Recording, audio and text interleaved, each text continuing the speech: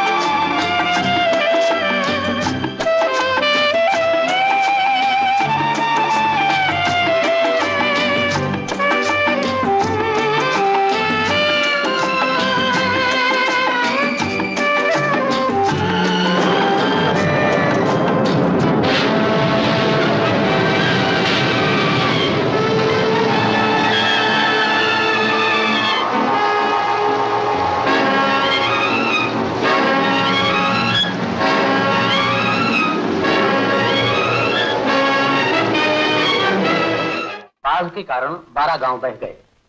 बंबई से 300 मन अनाज भेजा गया है।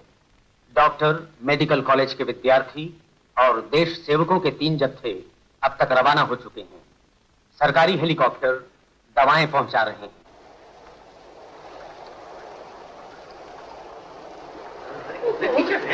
कपड़े खराब हो गए? दूसरा रास्ता नहीं जाने का? पाँव कीचड़ से लटपट ये पुल भी कमज़ोर फिसल के गिर जाने का डर और कोई उपाय भी तो नहीं? मरना है क्या? उधर इतने लोग बीमार हैं अगर हम ना पहुँचे तो। वो तो समझता हूँ। अच्छा इधर एक काम करें। उस गाँव से किसी समझदार आदमी को कहो कि इधर आ जाए। और कोई मामूली बीमारी हुई तो दवा यहाँ से भिजवा देंगे। वक्त बच जाएगा ये मुसीबत नहीं उठानी पड़ेगी। आती बहन। आते? ये कहाँ जा रही है? दीदी हाथ पकड़ लो।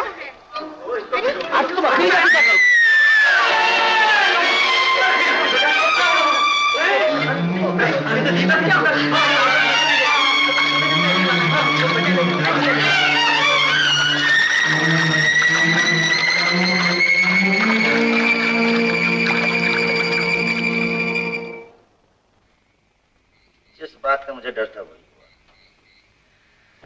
तुम खामोखा बत्ती जरा कम कर दीजिए ठीक है।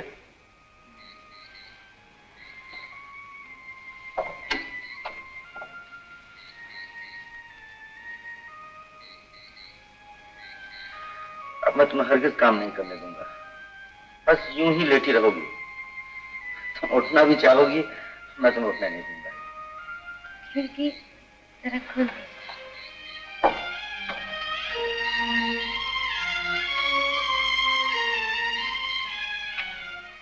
मरीज़ को देखने जाना था लेकिन जी नहीं चाहता।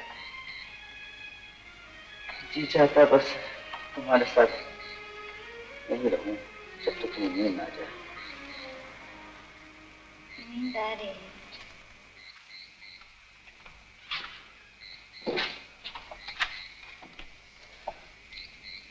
सो रही तबीयत कैसी है?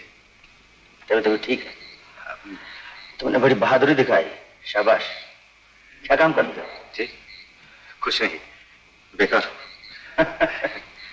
कौन है? आ, मैं, मैं दीपक। आ जाइए। जा सकता हूँ। अंदर जा सकते हो लेकिन उसकी तबीयत अच्छी नहीं है। ज़्यादा देर न रुकना।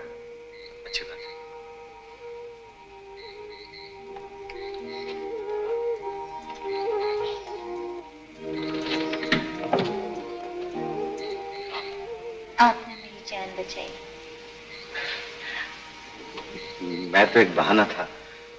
दुनिया को आपकी ज़रूरत थी। आप बच गई। फिर भी धन्यवाद।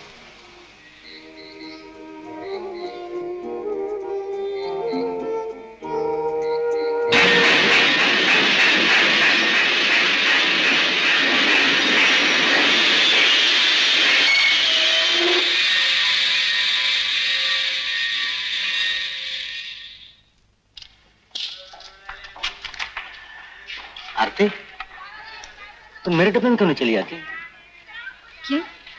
वहाँ इतनी भीड़ नहीं है तुम्हें आराम मिलेगा और मैं हूँ। मैं यही ठीक हूँ क्योंकि यहाँ सिर्फ़ मैं नहीं हम हैं। यहाँ हम सब हैं।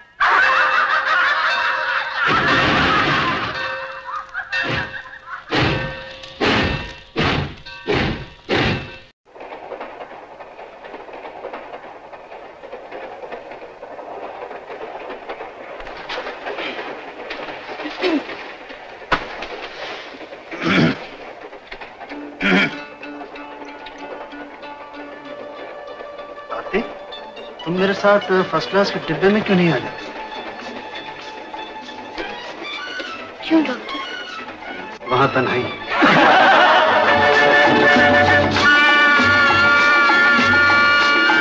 ना भमरा ना कोई गुल अकेला हूँ मैं तेरा बुलबुल। है एक तन्हाई मेरी जान मेरे जहाँ में आ।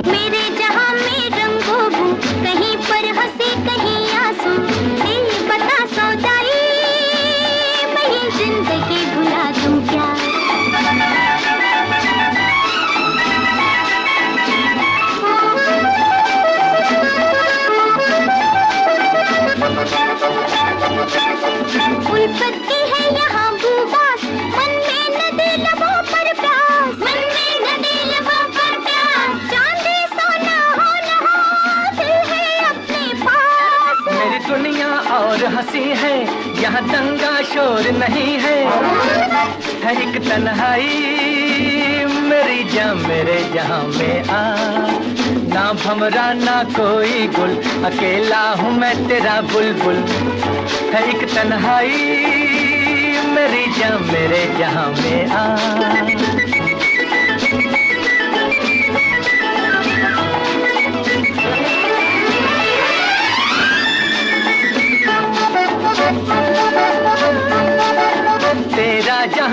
जिसका नाम गम की सुबह दुखों की शाम। ना ना ना। मामूली सी बात पे लड़ना इसका काम। फिर भी ये सब है अपने मिलजुल कर देखे सपने। ये बता सौदाई मैं ये ज़िंदगी भुला दूँ क्या? मेरे जहाँ में रंगों कहीं पर हँसी कहीं आँसू। बता सौदाई ज़िंदगी दूँगा। ना भमरा ना कोई गुल। अकेला हूँ मैं तेरा बुलबुल। है एक तन्हाई मेरी जहाँ मेरे जहाँ में आ।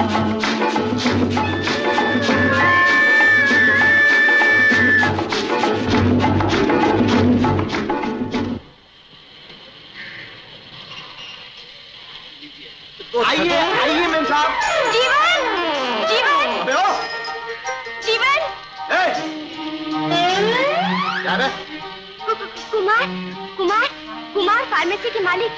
अच्छा अच्छा आपकी तारीफ़? जीवन। इनका मंगेता ओहो औसम ना। चले। जी देखिए मैं अपनी गाड़ी आप ही लोगों के लिए लाया हूँ। नहीं नहीं हम टैक्सी में जाएँगे। जीवन। अच्छा साला चलो।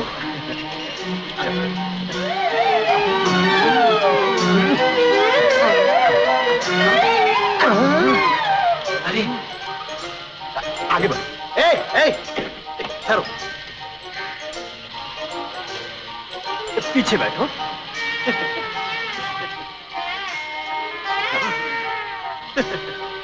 ओह आई एम सॉरी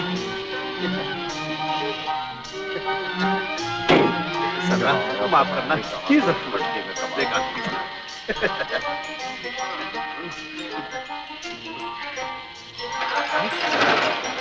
क्या हुआ?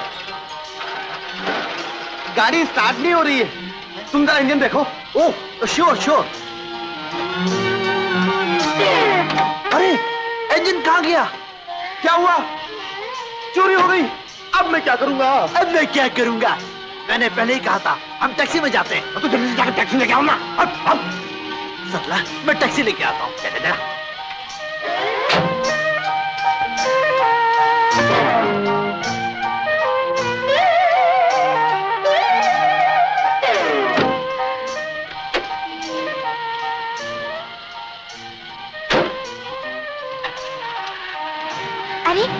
कैसी गाड़ी है? स्टार्ट कैसे हो गई? इसका इंजन सर में नहीं पाँव में है। इटालियन कार इसका भी इंजन सर में नहीं पाँव में है। ओहो यानी ऐसा मंगेता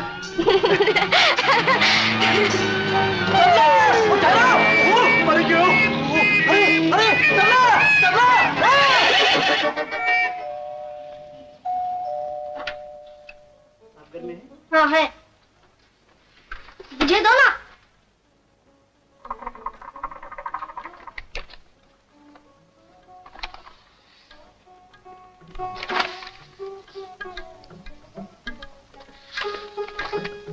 कुछ कहना है साहब? नहीं। क्या है ये बाबू जी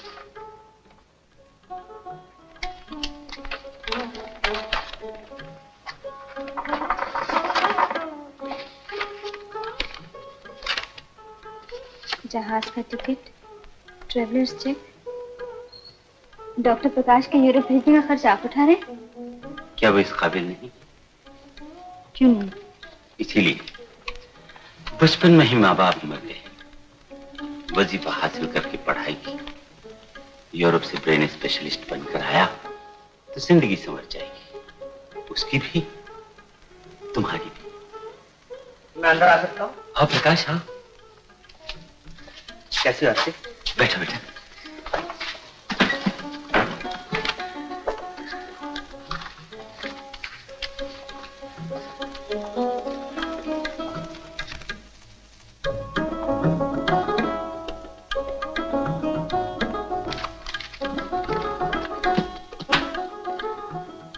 आपने जो मुझ पर एहसान किया, मेरी समझ में नहीं आ रहा है उसका बदला मैं उसका बदला होगा तुम्हारी कामयाबी। अच्छा मैं चलता हूँ। अच्छा।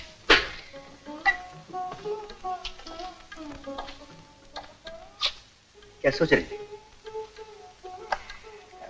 कल के जहाज़ से आप जा रहे हैं ना? हाँ। अगर तुम्हारे पिताजी मदद न करते तो शायद शायद कभी जा ही नहीं सकता था।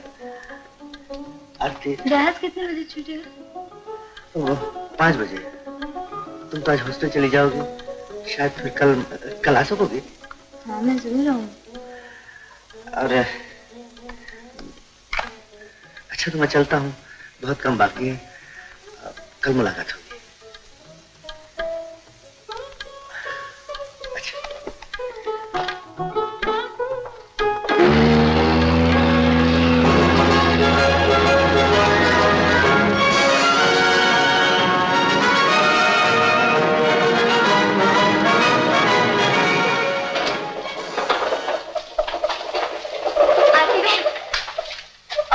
में जाके देखो कौन आया है।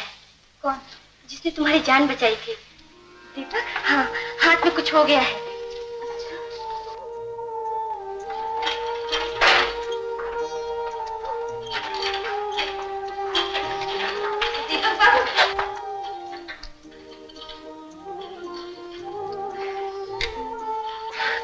माफ़ कीजिएगा नमस्ते नहीं कर सकता। हुआ क्या है? आ, कुछ नहीं गिर गया था। बताइए आप कैसी हैं? डॉक्टर प्रकाश कैसे हैं? अच्छा हम बात करो मैं टैक्सी लेके आता हूँ। अरे नहीं नहीं अ, मैं बस से चला जाऊँगा। जी नहीं आप टैक्सी से ही जाएँगे। आइए वहाँ बैठे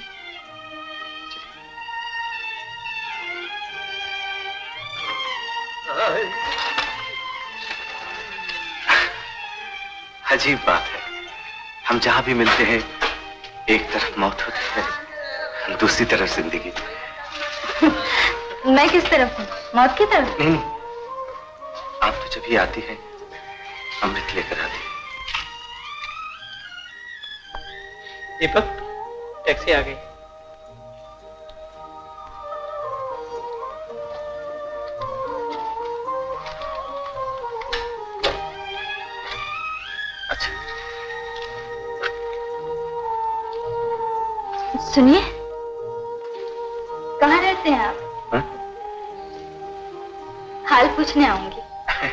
क्या ज़रूरत है?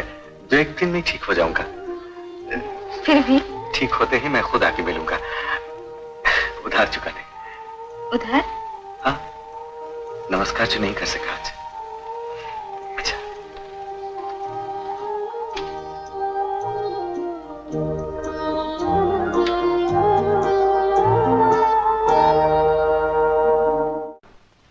ये रहा सिरिंज और ये नदी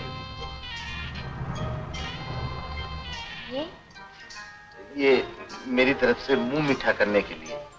आज तुम्हारे इम्तिहान का नतीजा निकला है ना? नुस्खा। बदतमीज। देखते नहीं हो? मैं ग्राहक से बात कर रहा हूँ। हाँ तो कौन सा डिवीज़न मिला है सल्ला? फ़र्स्ट? ओहो। तो सेकंड? थर्ड मिला होगा? थर्ड डिवीज़न में पास होना कोई पास होना है? तुमसे किसने पूछा? तुमसे किसने कहा? ये मेरी जगह है मेरी दुकान। ये मेरी मंगेतर है मेरी जान। ओ ओ तेरी ये मज़ाक? मेरी दुकान में आकर इस तरह की बातें कर रहा है? आइंदा अगर तुमने इस तरह की बातें की तो कौन पकड़ कर दुकान से निकाल दूँगा? शादी होने दो। बात नहीं करने दूँगा। दवा नहीं लेने दूँगा तुम्हारी दुकान से। काम तोड़ दूँगा घर आए तो। क्या कहा क्या कहा ओहो, ओहो। पहले मैं चुप हुआ नहीं मैं। और अब बात भी पहले मैं करूँगा। सल्ला कौन सा डिवीज़न मिला है? थर्ड डिवीज़न से पास होना भी कोई पास होना है। ये तो फेल हो गई है। तुम फिर बोले मैं कहा बोला मैं तो चुप हूँ तो मैं भी चुप हूँ। मैं तो सिर्फ़ प्रैक्टिकल में फेल हुई इंजेक्शन विजेक्शन लगाने में मैं आज ही से जाकर प्रैक्टिकल शुरू कर दूँगी। अच्छा सुनो सल्ला ये चॉकलेट लो यो अब समझा सरला को मुफ़्त में सिरिंज और नीडल देके मेरी सगाई तोड़वाना चाहते हो। माफ़ करना मैं तुम्हारी तरह कमीना नहीं हूँ। मैंने तो भगवान से प्रार्थना की और प्रार्थना करता हूँ कि भगवान तुम्हारी सगाई कभी न तोड़े। सच? हाँ मगर शादी मुझसे हो।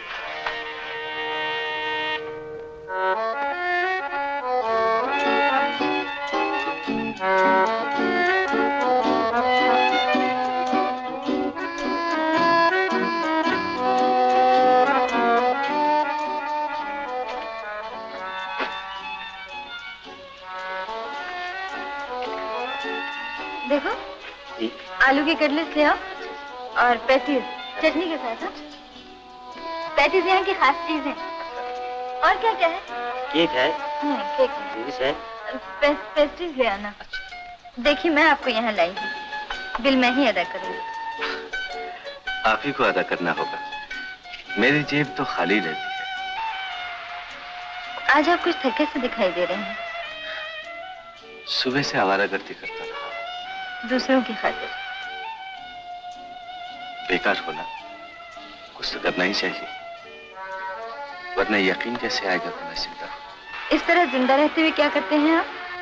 गीत लिखता जिन्हें कोई नहीं सुनता कोई नहीं गाता जिनकी कोई कीमत नहीं लगाता।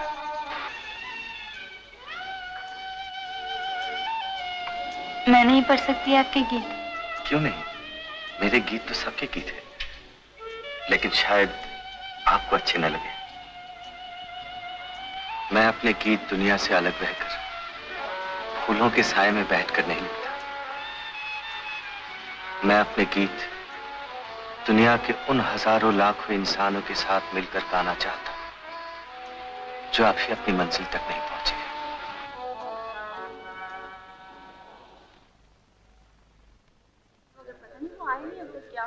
हम इस मेडिकल कॉलेज के विद्यार्थी, आज आपको एक गुमनाम कवि का गीत सुनाते हैं, जो हमारी तरह सोचता है और हमारी तरह आगे बढ़ना चाहता है।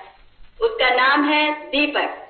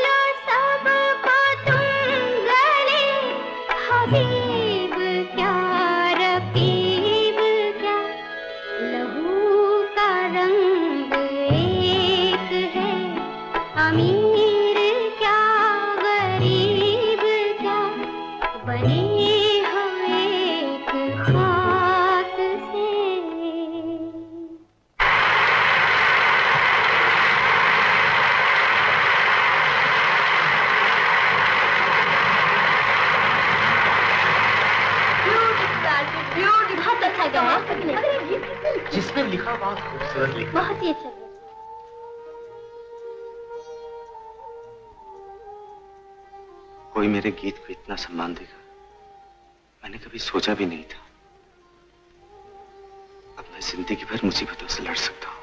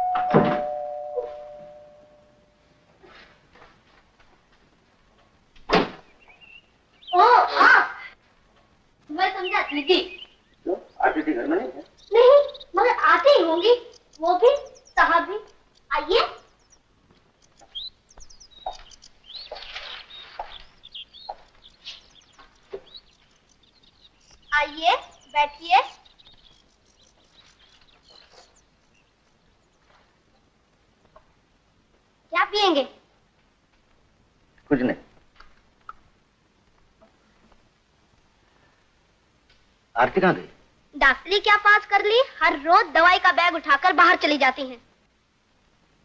काम करते कहीं? नहीं वो दीपक बाबू है ना। दीपक? आप जानते हो उन्हें? उन्हीं के साथ। आज इसकी बीमारी कल उसकी बीमारी हाँ।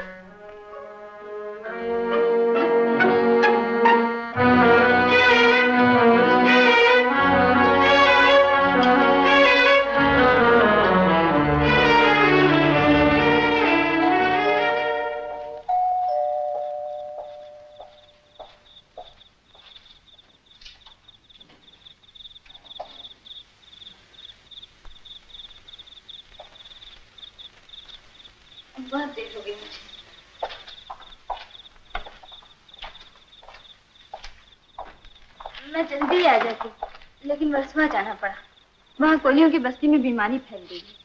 मुझे तो फ़िक्र हो चली थी बेटी। सीधी वहीं से आ रही। हम्म। अस्पताल में फ़ोन करना पड़ा। म्यूनिसिपैलिटी में खबर दी टीकों का इंतज़ाम किया। ठीक है लेकिन जो लोग खुद ज़िंदा रहना नहीं जानते उनके लिए अपने आप को खतरे में डालना ये कहाँ की अक्लमंदी है? आखिर तुम्हारी ज़िंदगी भी कीमती है। हंस क्या रही प्रकाश ठीक ही तो कह रहा है। जाओ नहा धोकर कपड़े बदलो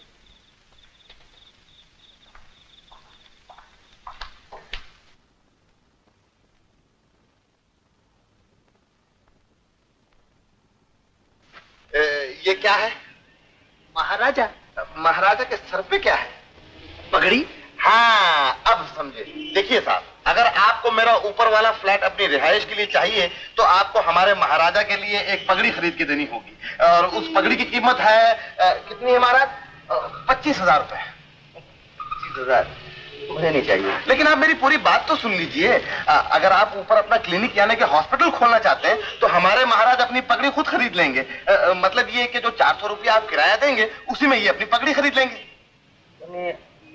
आपका मतलब है कि आ, मतलब साफ़ है साहब के ऊपर आपका क्लिनिक नीचे मेरी दुकान। आप दवाई कहाँ से खरीदेंगे? कुमार साहब फ़ोन है सरला देवी का। सरला का टेलीफोन? कह दो कि हम यहाँ नहीं हैं। देखिए साहब मुझे बहुत ज़रूरी काम से जाना है। आप दो दिन में अपना फैसला करके मुझे जवाब दीजिएगा। मुझे जरा देरी हो रही है। हाँ तो कुल कितना खर्च आएगा क्लिनिक पर? इक्विपमेंट और फर्नीचर मिला के सत्तर हज़ार। सत्तर हज़ार? जी हाँ फिर भी पगड़ी नहीं देनी पड़ रही है वरना करीब लाख हो जाता है। ठीक है। मैं ये मकान बेच दूँगा। मकान बेच देंगे? तुमसे क्या छिपाना बेटा? इसके सिवा मेरे पास और कुछ नहीं। वैसे बहुत कुछ आरती है। तुम हो।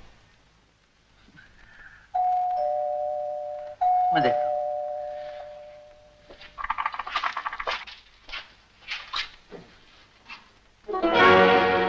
डॉक्टर प्रकाश मैंने आपकी खबर अखबार में पढ़ी। वाकई ये हमारी खुशकिस्मती है कि हमें आप जैसे ब्रेन स्पेशलिस्ट मिला। कंग्रेचुलेशन थैंक्स आरती ने भी कई बार मिस गुप्ता ने भी कई बार आपका ज़िक्र किया। हम्म। तुम आरती को भरसों वाले जा रहे हो? जी नहीं आज मर रहे एक ही बात हुई। आरती को ऐसी वैसी गंदी जगह पर ले जाते हो तुम्हें शर्म नहीं आता मगर वो तो एक डॉक्टर है। ठीक है लेकिन एक भले घर की लड़की भी है। अपनी ज़िंदगी को तुमने खिलौना बना डाला है। अब दूसरे की ज़िंदगी के साथ खेल रहे हैं। इसीलिए तुमने आरती को बचाया था। तुम जा सकते हो। आरती तुम्हारे साथ कहीं नहीं जाएगी मैंने उसे मना कर दिया। गुड नाइट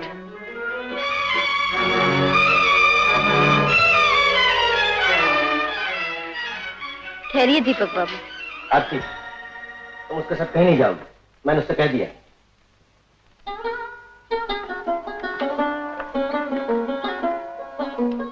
आरती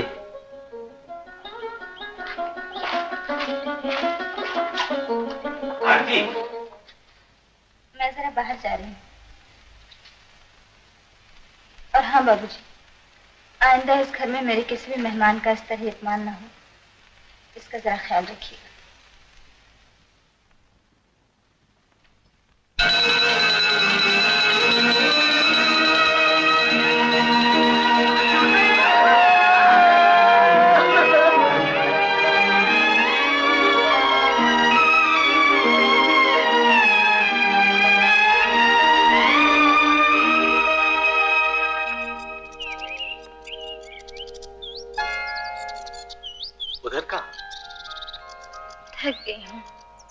जरा बैठ जाए। वापस जाने में देर न हो जाएगी? वो तो पहले ही हो चुकी।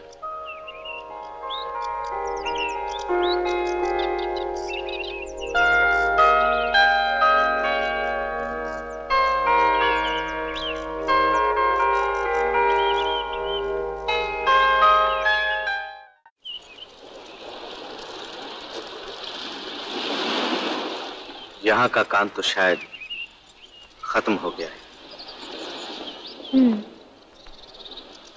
अच्छा ही हुआ जो काम करते रहे। मैं संभल गई। अब आपसे माफ़ी मांग लूँ? मुझसे? हाँ। आज मेरी वजह से आपका अपमान हुआ। तो क्या हुआ? तुम्हारे भले बुरे के जो जिम्मेदार है क्या उन्हें इतना भी अधिकार नहीं कि तुम्हारी खातिर? समझी। आप अभी तक मुझसे नाराज़ हैं। नहीं।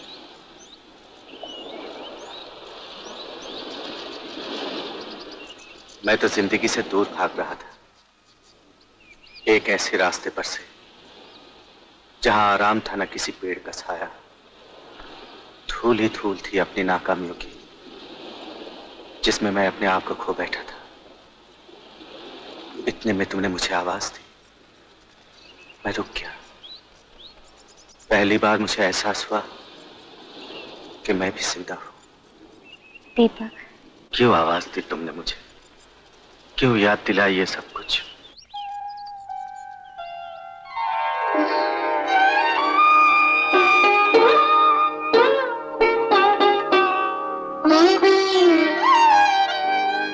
आपने याद दिलाया तो मुझे याद आया। आपने याद दिलाया तो मुझे याद आया कि मेरे दिल पे पड़ा था कोई गम का साया। आपने याद दिलाया।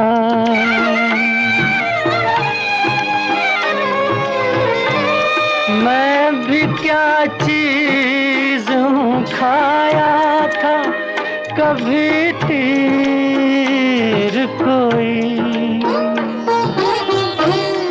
दर्द अब जाके उठा, चोट लगे देर हुई। तुमको हम दर्द जो पाया तो मुझे याद आया। कि मेरे दिल पे पड़ा था कोई गम का साया। आपने याद दिलाया।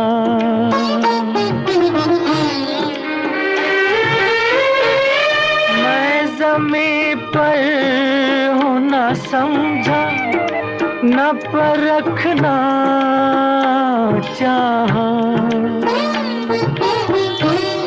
आसमां पर ये कदम झूम के रखना चाहा।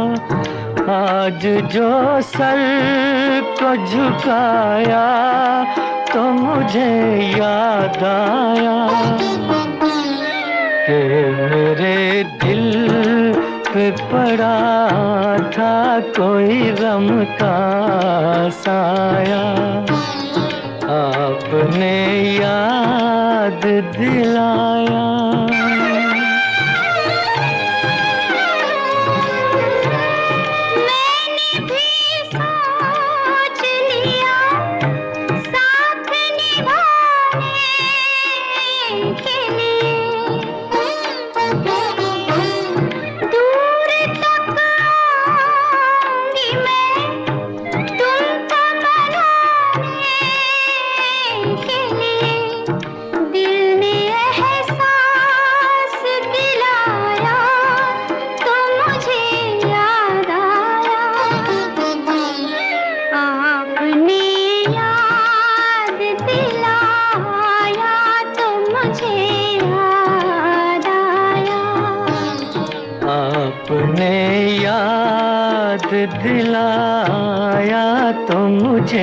याद आया।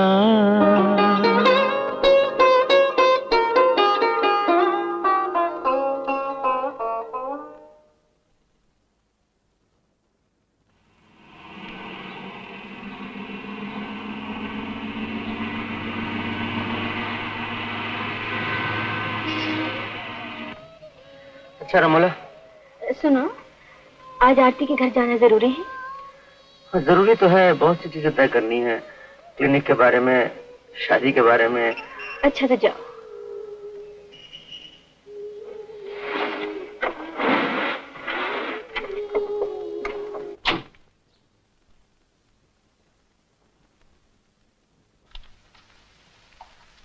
ये चेक कैसा है बाबूजी? प्रकाश एक क्लिनिक खोलना चाहता है उसके लिए।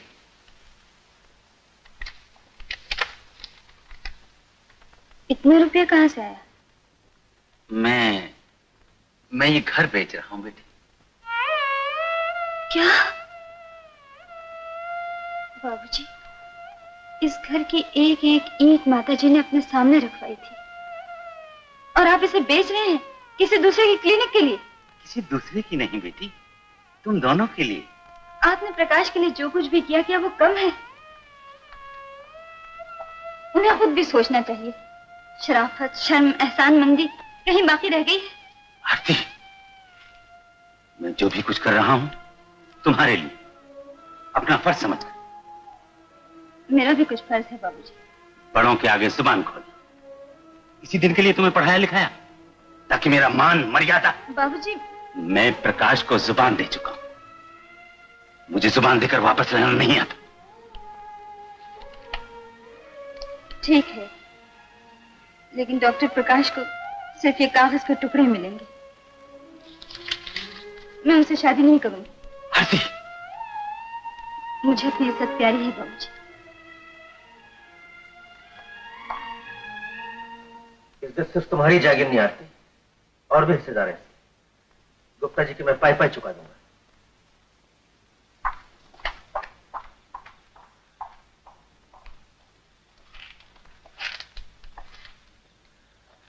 लेकिन आपका एहसान मैं कभी नहीं चुका सकूँगा।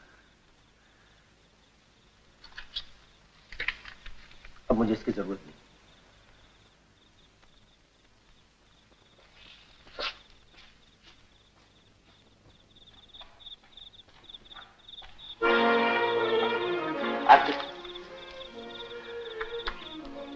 क्या मैं पूछ सकता हूँ मेरा कसूर क्या है? आपको नहीं मालूम। मैं सिर्फ़ इतना जानता हूँ कि, कि मेरी बेइज्जती की गई बिला वजह? क्या वजह? आपने एक बूढ़े आदमी को बेघर करना चाहा। मेरी कीमत लगाने की कोशिश की। तुम्हारी कीमत लगा मुझे यह एहसास दिलाया कि मैं कुछ नहीं। अगर कुछ हूँ तो उस रुपए के साथ जो मेरा नहीं पिताजी का है।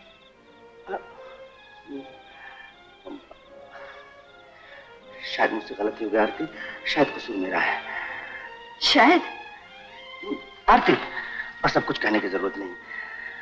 हम दोनों के एक होते ही सारी शिकायतें खुद ब खुद मिट जाएँगी। हम दोनों मिलकर प्रैक्टिस करेंगे एक दूसरे का हाथ बटाएँगे दिन रात रुकने की बारिश होगी नाम होगा शोहरत होगी। डॉक्टर प्रकाश आपके नज़दीक डॉक्टरी का यही मकसद है?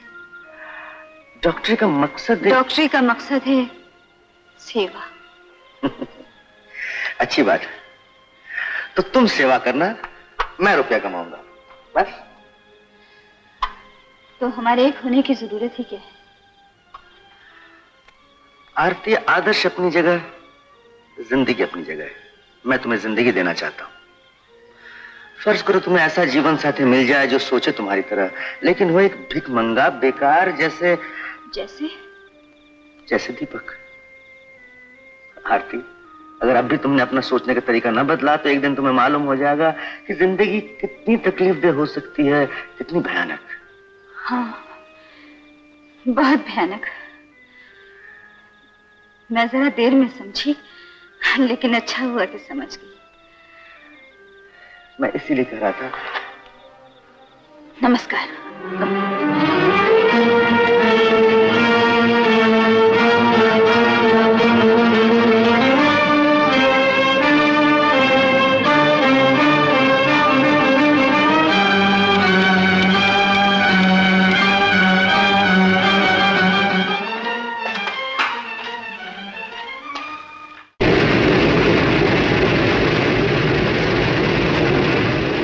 attention, please.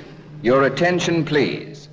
Passengers leaving for Delhi by Flight 201 are requested to proceed to the aircraft. Thank you.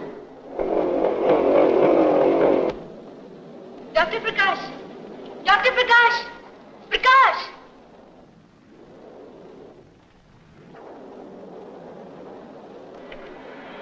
मैं मैं दिल्ली जा रहा हूँ रमोला मुझे वहां नौकरी मिल गई लेकिन तुम तो यहाँ क्लिनिक खोलने वाले थे ना तो ठीक है लेकिन अब मैं हाँ, बोलो ना क्या हुआ क्या फ़ायदा मैं चलता बगैर बताए नहीं जाने दूँगी एक रात में इतनी जल्दी आकर ये सब हुआ क्या मैं मजबूर हूँ रमोला मैं नहीं बता सकता तुम Your attention, please. Your attention, please. Dr. Prakash is requested to proceed to the aircraft. Dr. Prakash. छोड़ दो रमोला प्लेन छूट जाएगा प्लेन जाता है तो जाने दो प्लीज़ प्रकाश रमोला सिर्फ़ इतना बता दो। आरती ने क्या? हाँ रमोला आरती ने मुझे प्रकाश।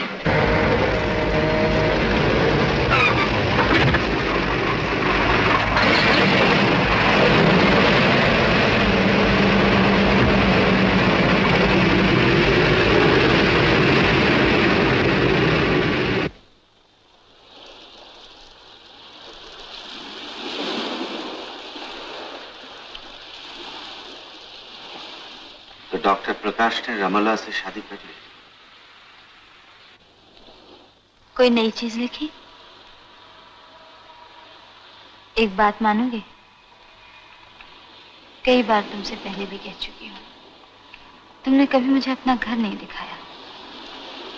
ये देखना चाहती हो हम किस हाल में रहते हैं। मानो यही। आरती मैं कर उधर ले जाऊँ। जहाँ सिर्फ़ आँसू है और आहे मैं कभी कभी सोच भी नहीं सकता। कवि को छोड़कर मैं उसकी कविता का सहारा नहीं लेना चाहती थी। आज मैं कोई बहाना नहीं सुनूँगी। चलो।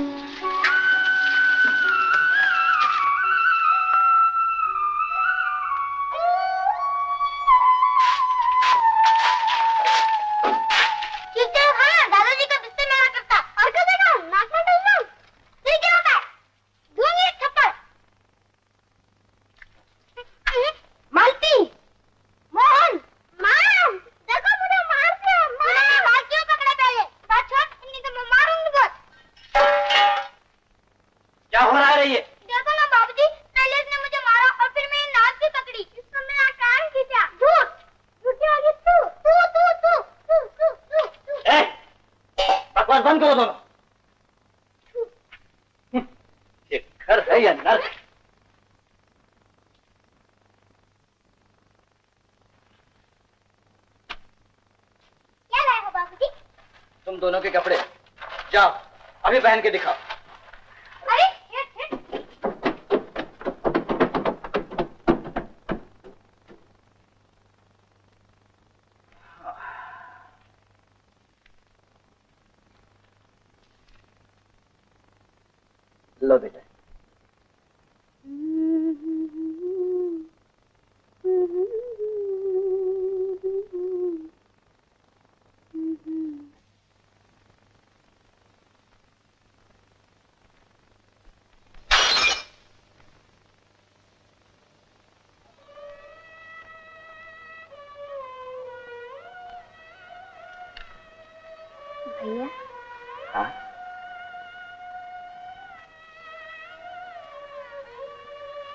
मेरे लिए सिंदूर की डिबिया लाए। हाँ रमा। ये लो। भैया मेरी मांग का सिंदूर कोई नोच तो नहीं लेगा? नहीं बहन कोई नहीं नोचेगा। तुम तो हमेशा यही कहते हो। पर भाभी कहती है सिंदूर तेरे किस काम का? तू तो नसीबों चली नहीं तू तो बड़ी नसीबों वाली है। ब्याह के दूसरे दिन ही अपने ससुर को खा गई। नहीं। सास ने निकाल दिया तो यहाँ मरी नहीं। यहाँ मरी तो पगली बन बैठी। नहीं नहीं नहीं मैं अपने सिंदूर की डिबिया नहीं दूँगी। नहीं नहीं। तुम्हें दुख नहीं होता रमा से ऐसी बातें कहते? पहले ही बड़ा सुख मिला है जो दुख भी होने लगे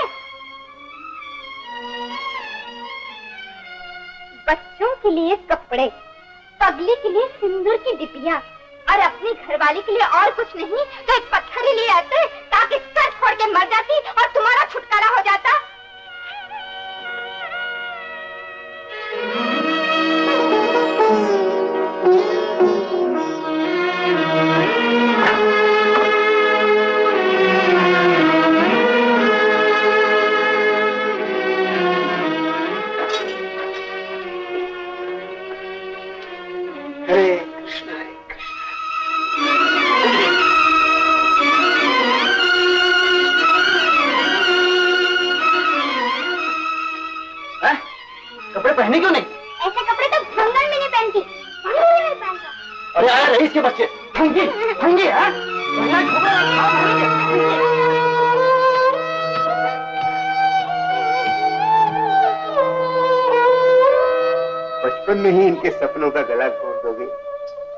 ये आगे बढ़कर ज़िंदगी का मुकाबला कैसे करेंगे बेटा? जो बन पड़ता है करता हूँ। आप ही बताइए और मैं क्या करूँ? ये क्या बताएँगे मैं बताती हूँ। कमाई करनी नहीं आती तो आधा गुंदो रसोई में जाके।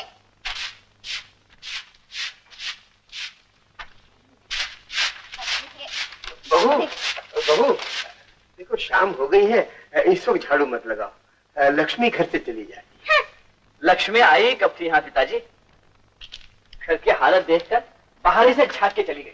ओहो इस घर में तो जो करो सो कम है। रसोई मैं बनाऊँ कपड़े मैं धोऊं बर्तन मैं मांजूं। एक दिन झाड़ू लगाने में जरा देर हो गई तो कौन सा आसमान टूट पड़ा? इतना ही सफ़ाई का ख्याल है तो ये रहा झाड़ू। लगा लो बाप बेटे दोनों मिलके। हाँ। माँ टांग दुखती है। दूसरी भी टूट जाए तो अच्छा है।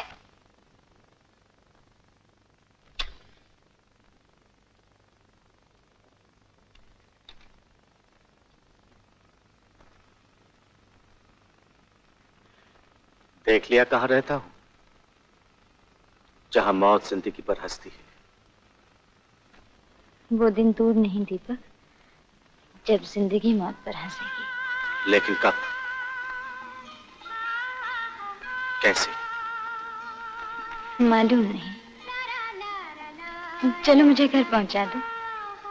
चलो।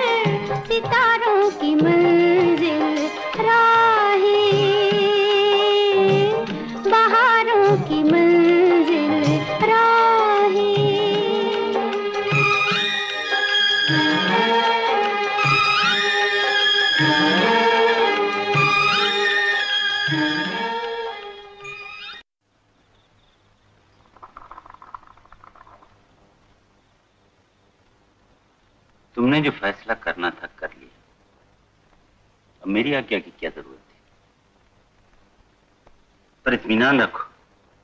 मैं तुम्हारे रास्ते में नहीं आऊँ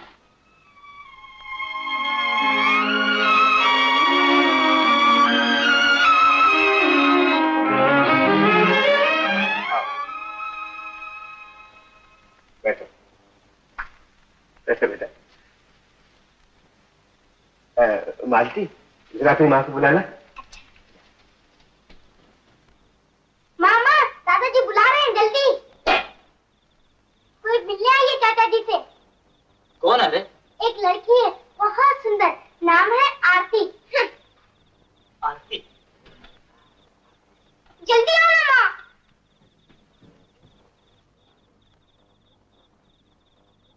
जरा धीरज से खाओ गले में अटक जाएगा धनवान की बेटी क्या आ गई सभी फिसल पड़े बाप बेटे सभी खेलने को तैयार जसवंती ओहो सच्ची बात कही तो आग लग गई।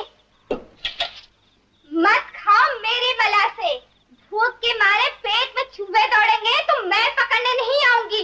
हम्म, दीपक नौकरी खबर नहीं। जल्दी चलो दादाजी वो चली जाएँगी। नहीं जाएगी।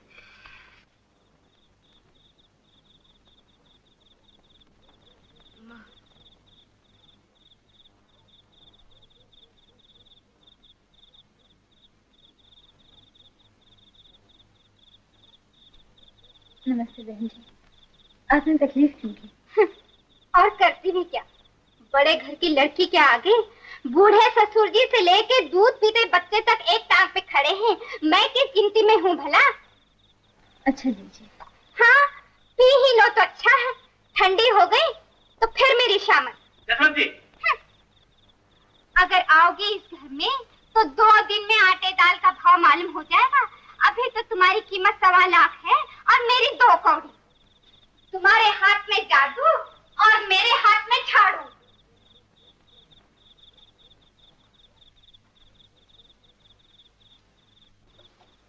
नहीं चॉकलेट। चॉकलेट? अच्छी बात है। ये ले।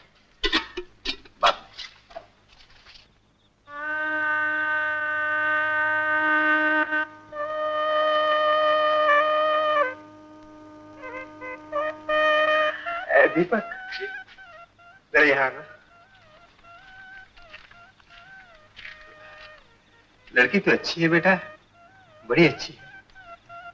लेकिन उसे ऐसे घर में लाना क्या खुदगर्जी नहीं होगी हमारी? बहुत समझाया पिताजी लेकिन मैं उसे भेज देता हूँ आप तुम्हारा क्या ख्याल है निरंजन? जी वो दोनों अगर शादी करना चाहते हैं पिताजी अरे तो- शादी तो करना चाहते हैं। लेकिन दीपक को कुछ सोचना चाहिए कि हैसियत क्या है उसकी ऊपर से बेकारी न काम न धंधा। हाँ, तो क्या हुआ पिताजी? आरती प्रैक्टिस करके उसे खिलाएगी।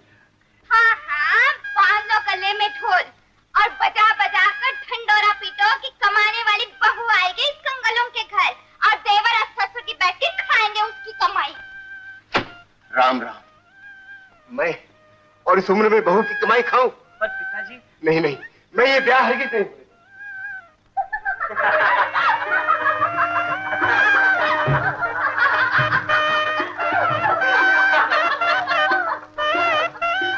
मैं तुम्हें कह देता हूँ निरंजन मैं ये रिश्ता कभी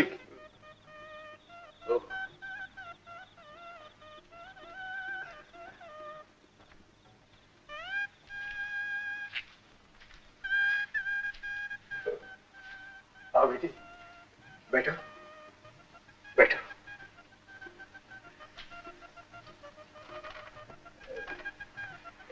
मैं कह रहा था बेटी तुमने डॉक्टरी तो पास की होगी।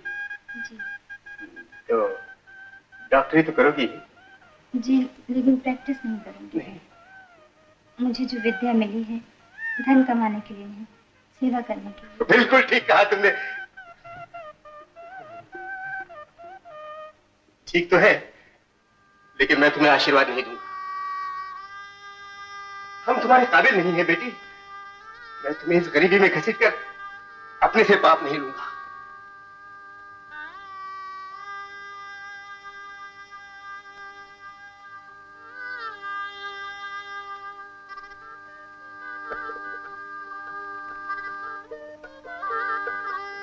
अच्छा अगर शादी ही करनी है तो तुम दोनों को हमसे अलग रहना होगा बेटी। तुम समझती क्यों नहीं? मैं भी एक बाप हूँ। कौन बाप नहीं चाहता कि उसकी बेटी एक अच्छे घर में जाए? सदा सुख से रहे। पिताजी! पिताजी मुझे नौकरी मिल गई।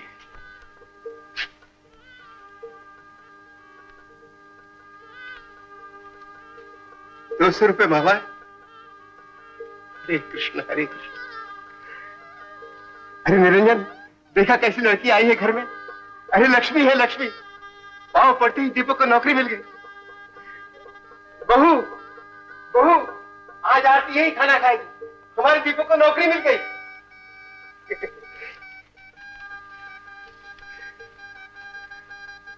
सुखी रहो। सुखी रहो बेटा, और सबको सुखी रखो। नारी नारायणी।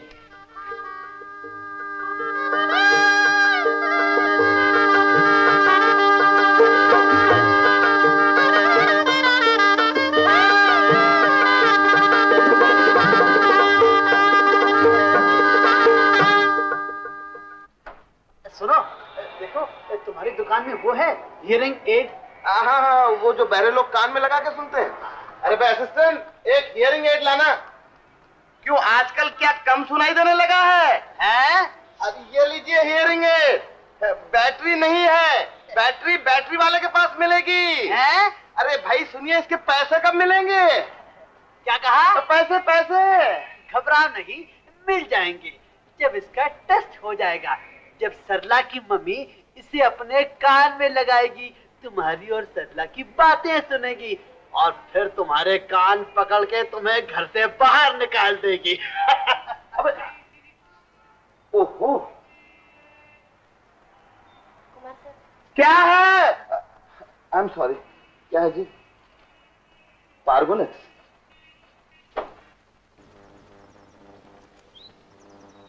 मैडम क्या? मुझे सुई लगाती है? ये दवा है, मम्मी। Vitamin D. तुम्हें सुनाई देने लगेगा। लगवा लो, मम्मी, वरना मैं फिर फेल हो जाऊँगी। खेल? एक गज की सुई और ये खेल है। हार में गई तेरी सुई और तेरा खेल।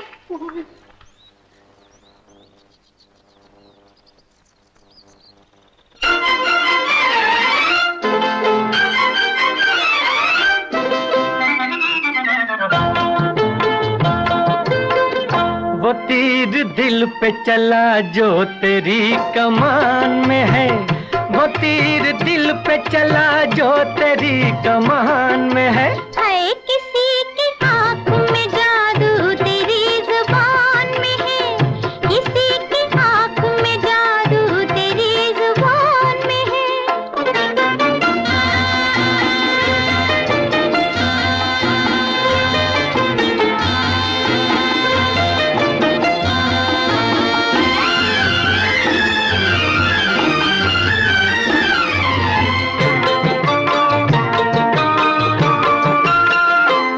नज़र में आते ही तुम तो जिगर में आए सनम।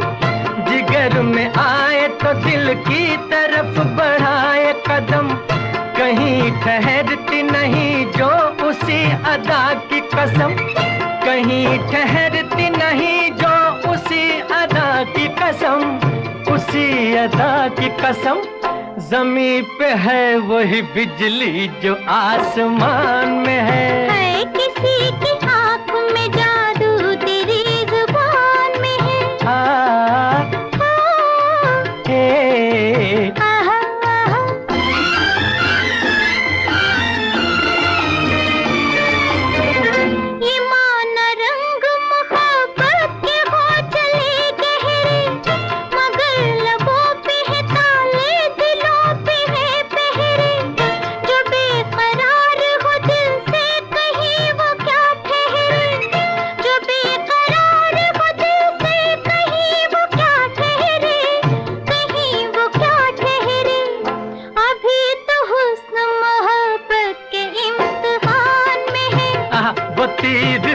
पे चला जो तेरी कमान में है।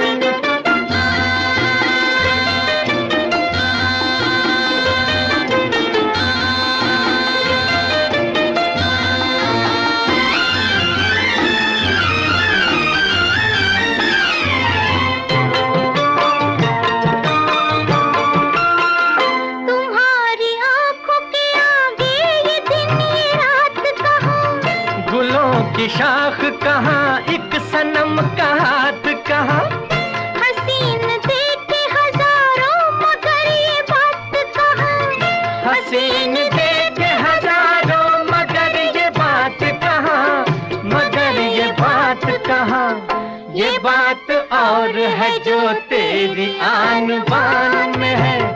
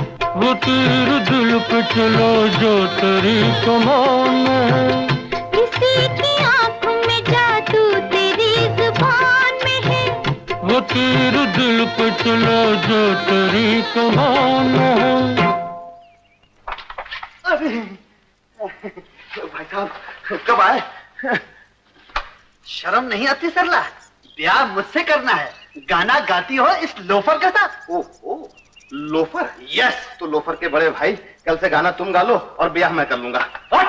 मार खाने का इरादा है क्या? जी नहीं तीर खाने का इरादा है। सरला सुना तुमने? कुछ नहीं कुछ नहीं। भोंपू, भोंपू, भोंपू, भोंपू। अरे कुमार बहुत दिन बाद दिखाई दिए। माता जी जीते रहो बेटा जीते रहो। कैसे आए? माता जी जैसे ये आए। मम्मी जी पहले ये पूछो ये क्या करने आया है? जी आप किस लिए आए थे? मैं सरला को पढ़ाने आया हूँ। जी और, और मैं तो प्रैक्टिकल करवाने आया था। ओ, माता जी वो सुई लेने। ओ लो बेटी आखिर मिल ही गया तुम्हें सुई लगवाने वाला। रोज आना बेटा रोज आना मम्मी जी ये रोज रोज आएगा। क्या? तू घर जाएगा? आ मेरे साथ इसके पैसे भी लेते जाना। हाँ, हाँ, अरे, हाँ। हाँ जाओ जाओ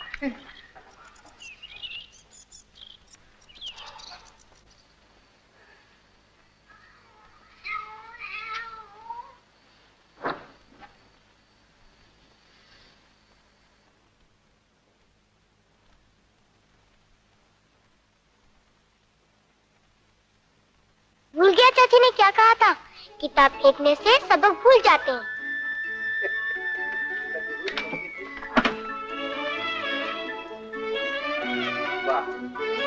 निरंजन बहू हो तो आरती जैसी। देखा घर की काया ही पलट दी है उसने। हाँ पिताजी। हर बात में सलीका हर चीज़ ठिकाने पर। अरे बच्चे भी सुधर गए। बस रह गई अपनी जसवंती पिताजी मैं मैं जरा कपड़े बदल के आता हूँ।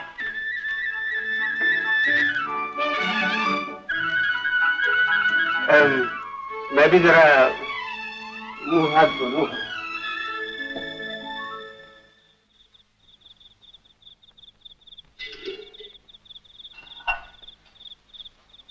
आरती कब तक काम करती रहेगी बेटा? बस हो गया पिताजी।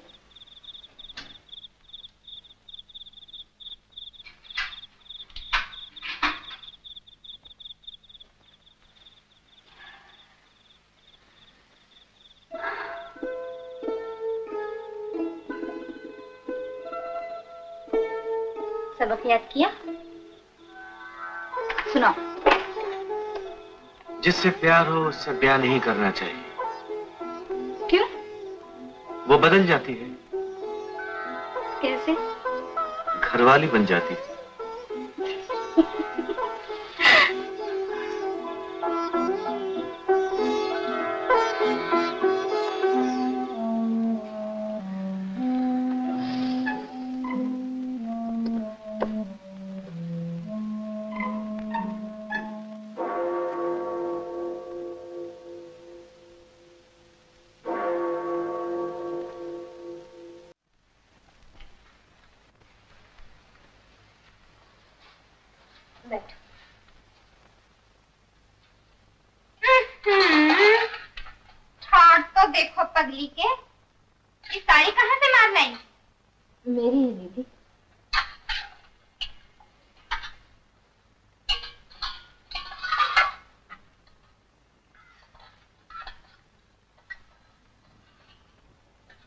के लिए छाछ नहीं रखी?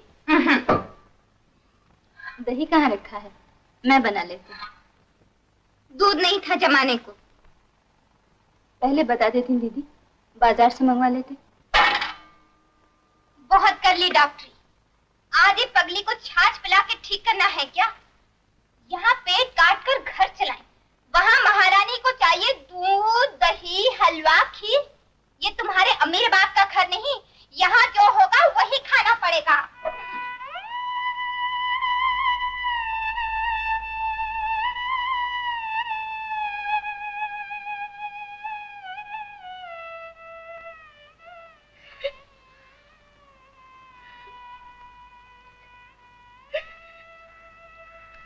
खाते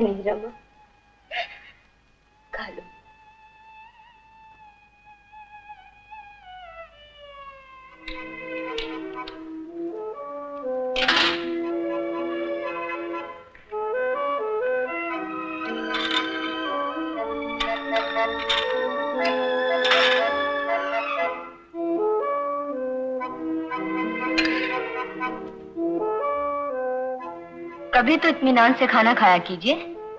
इतना वक्त नहीं इतना काम क्यों करते हो? मुझे गुप्ता साहब पर कर्जा चुकाना है। तो चुका दो। अपनी कमाई से। सुनो।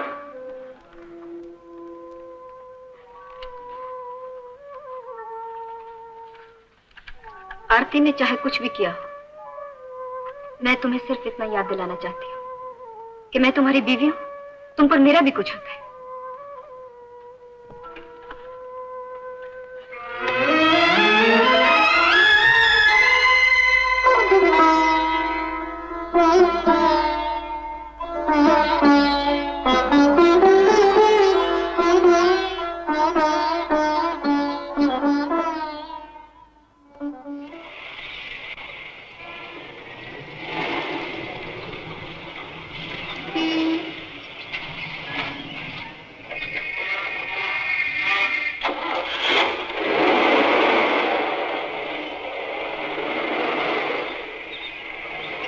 तो मैं तुम्हें घर पहुँचा दूँ।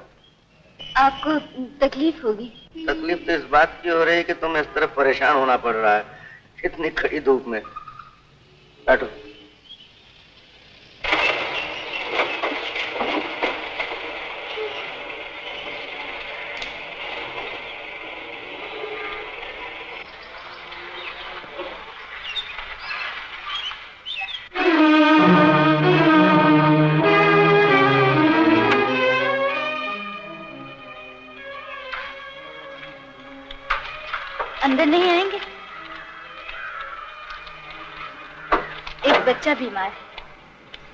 से देख लीजिए।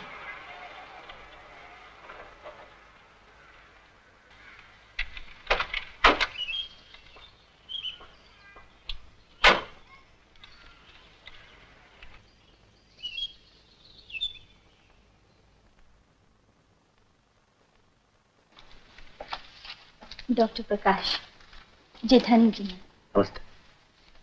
आप बैठिए।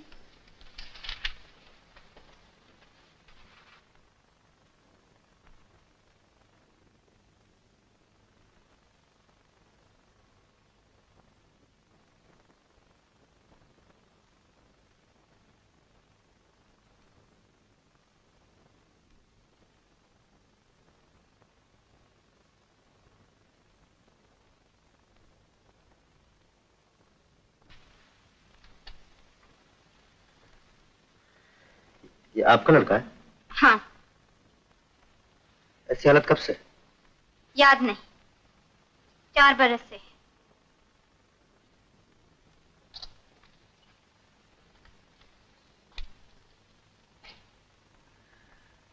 ट्रीटमेंट क्या दिया गया? है हॉस्पिटल में ऑपरेशन हुआ था लेकिन उसके बाद देखभाल ठीक से नहीं हुई ये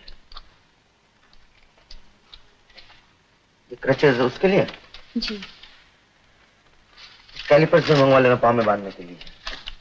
और आहिस्ता आहिस्ता चलने की आदत डालना। एक नया इंजेक्शन निकला है लेकिन अब तक मार्केट में आया नहीं। सैंपल मिले तो मैं भेज दूँगा।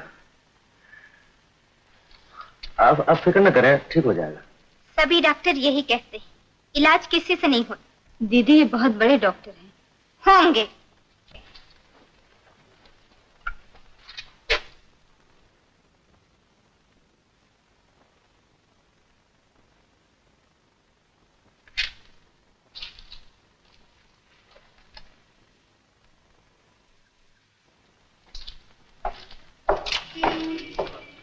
अरे दीपक तुम यहाँ? हाँ हाँ आरती ने बारह इंजेक्शन मंगवाए थे। खरीद लिए हाँ भाई खरीद तो लिया मगर बारह नहीं थी। दाम बारह के देने पड़े। ओ यहाँ यहाँ। ये कुमार है ना एक नंबर का चोर है। फिर तुम क्यों आए? नौकरी डॉक्टर प्रकाश की। इतनी देर क्यों कर दी तुमने? क्या बताऊँ डॉक्टर साहब ये इंजेक्शन बड़े महँगे हो गए। इंजेक्शन किस लिए? मैं तो तुम्हें दवा लाने के लिए कहा था। दवाएँ तो आपकी लाया हूँ। इंजेक्शन आरती बहन ने मंगाए थे। आरती क्या मतलब? दीपक से वो दुकान पे मिल गया। जी हाँ बारह इंजेक्शन मंगाए थे लेकिन इतने महँगे हो गए बेचारा सिर्फ़ तीन खरीद सका। मैंने उससे समझाया कि कुमार बड़ा चोर आदमी है जाओ। जीवन? यस सर दीपक से कह देना कि वो दवा इंजेक्शन जो कुछ चाहे उधार ले सकता है। आपसे? मुझसे नहीं इडियट केमिस्ट से। मैं कुमार से कह दूँगा। थैंक यू डॉक्टर लेकिन शायद वो उधार लेना पसंद न करे। मेरी वजह से। तो फिर? तुम दीपक से कह देना कि कुमार तुम्हारा दोस्त है। जी? कुमार और मेरा दोस्त वो तो मेरा दुश्मन है। क्या मतलब दुश्मन? अजी वो तो। वो तो क्या? जी कह दूँगा। कह दूँगा दीपक से।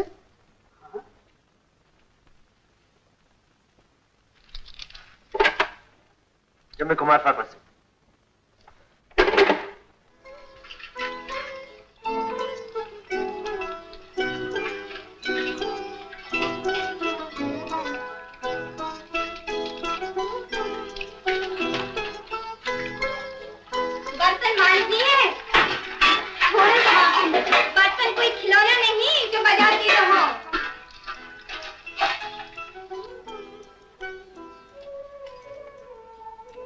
भैया छोटी भाभी आज मुझे डॉक्टर के पास ले गई थी। अच्छा? मेरी मांग में सिंदूर भरा। वो कहती है कि वो मुझे लेने ज़रूर आएँगे। ज़रूर आएँगे। हाँ हाँ तुझे लेने ज़रूर आएँगे। तेरे बिना तो घर उजड़ गया है ना उनका। लो देवर जी। तुमने क्यों तकलीफ़ की भाभी? आरती ले आती। उसे दिखावे से फुर्सत मिले तो कुछ करे ना। दिन भर बाहर रहे। यहाँ आते देखा तो बर्तनों के ढेर लगा बैठी। यही तो मुसीबत है इन पढ़ी लिखी छोकरियों की। दिखावा ही दिखावा। जब देखो पैर में चक्कर। चक्कर? हाँ देवर जी दिन भर घूमती रही गई थी पैदल और आई मोटर में। टैक्सी में? नहीं नहीं साथ में कोई डॉक्टर भी था। डॉक्टर? हाँ कुछ भला सही नाम था उसका। क्या नाम हाँ याद आया। Doctor Prakash. Oh doctor Prakash. अच्छा तो कोई रिश्तेदार है हमारी आरती का? है नहीं था। क्या? मंगे हाय राम ब्याह तुमसे किया और घूमती फिरती है मंगेतर के साथ? तो क्या हुआ भाभी? डॉक्टर प्रकाश का भी ब्याह हो गया। फिर भी? फिर भी। अरे भाभी चाय तो पी लेने दो। ठंडी हो गई है।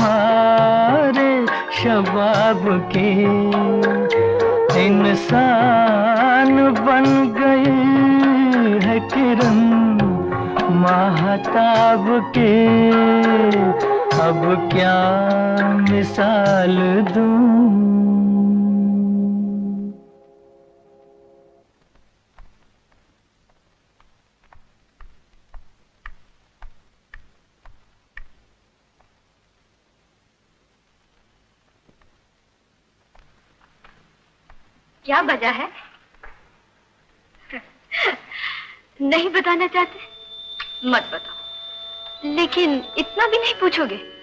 अब तक कहाँ रही? इतनी रात गई क्यों आई हो?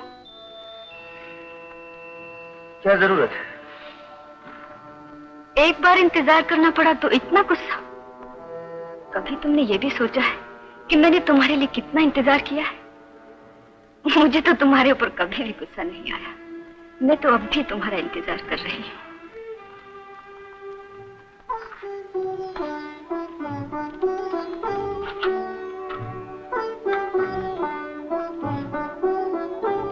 साढ़े ग्यारह बज गए। क्या सो जाओ। नींद किससे आएगी? रात भर मैं यही सोचती रहूँगी कि तुम्हारी होकर भी मैं तुम्हारी क्यों न बन सकी। और तुम? और मैं? मैं क्या? तुम रात भर उस आहट का इंतज़ार करते रहोगे जो एक बार तुम्हारे करीब आकर तुमसे दूर चली गई। प्रकाश। अब तो भूल जाओ आरती को। नहीं भूल सकता। जब तक मैं उससे बदला न ले लूँ। इस बात का कि वो तुम्हारे रास्ते से हट क्यों गए? नहीं। इस बात का कि वो मेरे रास्ते में आई ही क्यों?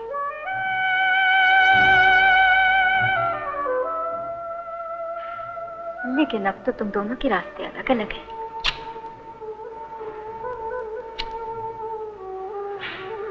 रास्ते मिल भी सकते हैं।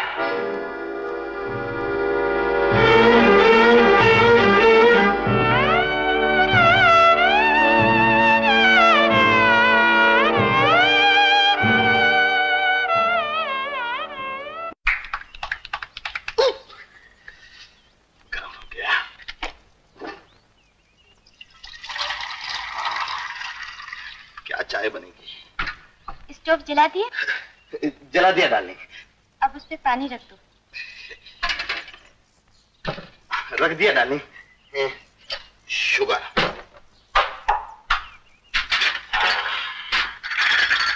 मैं तो आरती उतारू बुरुक बाउनती की शुगर डालो मैं डेढ़ लड़की दो।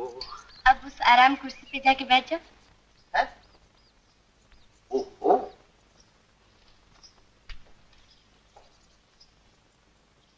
तो तुम अपने कोमल कोमल हाथों से मुझे चाय बनाकर पिलाना चाहते हो। ओहो।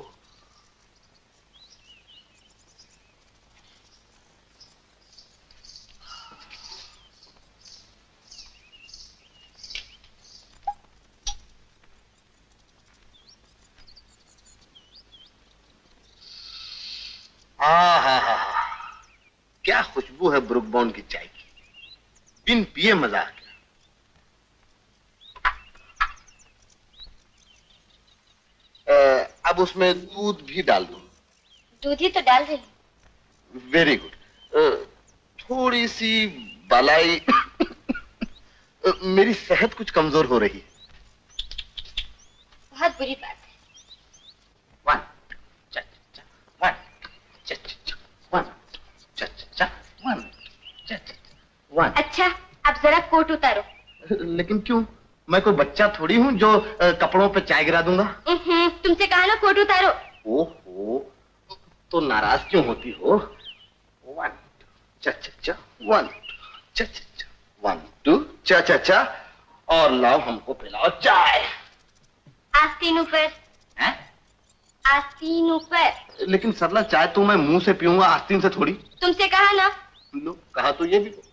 वन चा चा चा वन चा चा वन चा चा चा वन टू चा चा चा वन टू सरला सरला तुमसे कहा था ये ये तुम चाय इसमें क्यों ले आई हो एक काम करो तुम कप में चाय ले आओ वन टू ये चाय नहीं इंजेक्शन है इंजेक्शन है तो फिर इंजेक्शन क्यों है तुमने वादा किया था ना इंजेक्शन लगवाने का? अ, लेकिन इतनी बड़ी सुई। तुमने ने तो दी है। अ, लेकिन सरला अ, मुझे सर्दी लग रही है। तो गर्मी आ जाएगी। हाँ, मुझे तो गर्मी भी लग रही अरे है। तो सर्दी आ जाएगी। ओहो सर्दी गर्मी। मैं मरना नहीं चाहता। मैं अभी मरना नहीं चाहता। कहाँ जा रहे हो कुमार साहब? जीवन भैया तुम्हारी मंगेतर तेरी मंगेतर? जी हाँ आपकी मंगेतर मुझे इंजेक्शन देके मार डालना चाहती है। इंजेक्शन नहीं थी तीर, तुम ही लगा लो। तीर तुम ही लगा लो जॉनी। जॉनी। जॉनी। ये तुम क्या करने को लगा है छोटे मैन साहब? तुम चुप रहो। इन्होंने वादा किया था इंजेक्शन लगवाने का। हाँ किया था। मेरे सामने। अरे कब किया था सरला तुम झूठ बोलते हो। अरे मैं झूठ हाँ, नहीं बोलता था। आस्ती ऊपर हाँ हाँ एक तुम तो क्या कर रहे हो सरला बड़ी स्वीट ला दूँ नहीं कैसे रख ले। अरे तू काय को घबराता रहते दबान दिया तो लगा नहीं माँगता। हमारा गॉड तुम्हारा मदद करेगा। जल्दी करो थोड़े मैम साहब। हाँ हाँ सरला प्लीज़ जरा जल्दी करना। आस्तीन ऊपर करो। नहीं नहीं तुम आस्तीन के ऊपर से ही लगा दो। इंजेक्शन दिया नहीं? ये पहले से कैसे फूल गया? ये ये तो मसल है तंदुरुस्ती। हँसते क्यों हो? इसलिए कि दर्द कम होता है। नहीं ये दर्द ही निकाले थे नहीं नहीं नहीं, जीवन अरे ये मेरी कौन सी हड्डी निकाल दी? धोखा देते हो पकड़ना जीवन। अरे हट मैडम मैडम जल्दी एकदम से आओ। खून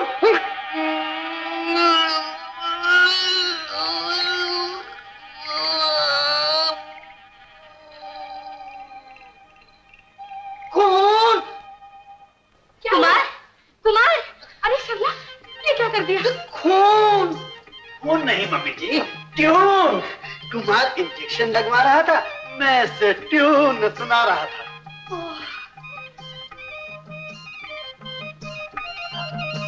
कुमार साहब अरे ये तेरे को क्या हो गया से अरे अरे अरे कुमार हाँ। ठीक है।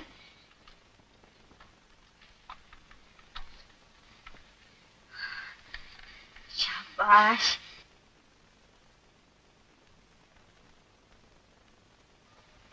चाची। हाँ हाँ कोशिश करो कोशिश करो। आओ। रवि, आ, आ, आ। क्या बदतमीजी है ये मालती? मोहन क्या हुआ रे? अरे हुआ क्या? बताता भी नहीं क्या हुआ? दीदी छोड़ दे मुझे। अच्छी डॉक्टरी है दवा दारू से कुछ नहीं हुआ तो सांप दिखा के मार डालने लगी है मेरे बच्चे को। देखा ससुर जी कैसा इलाज करती है आपकी बहुरानी आँखों के सामने दवा मालिश इंजेक्शन और पीठ पीछे ये काला सांप। ये क्या कह रही हो बहू?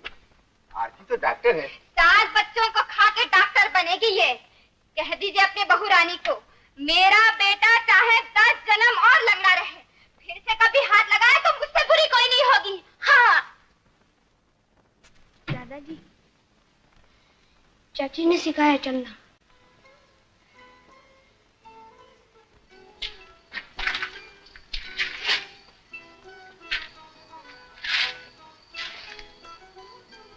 तरस आता है तुम पर। क्यों?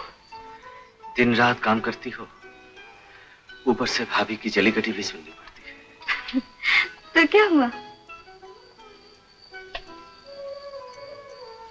कभी किसी ने ये भी सोचा है कि दीदी हर वक्त खफा क्यों रहती है? बचपन में ही माँ बाप चल बसे पढ़ाई हुई नहीं। प्यार कहीं मिला नहीं। ब्याह करके इस घर में आई। तो किसी ने उनके हाथों में चूड़ियाँ तो पहनाई नहीं। झाड़ू थमा दिया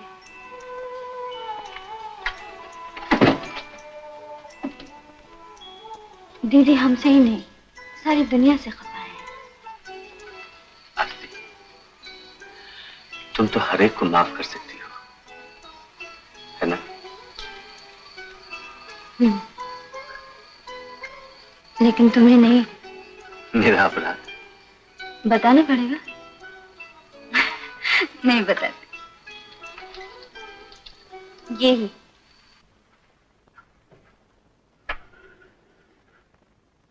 कितने मरीज़ है? एक ही। क्या नाम है? कुमार चंद ढोलकिया सीपी खलवा सुरेश भट्ट। ये क्या? ये क्या क्या तुमको पता नहीं आज जाना है? हम दोनों का डांस है। वो जो अंधों की स्कूल है ना उसका चैरिटी शो है। हाँ, तो फिर चलो ना। चलती हूँ। उई माँ उई माँ उई माँ रख दो। उई माँ उई माँ उई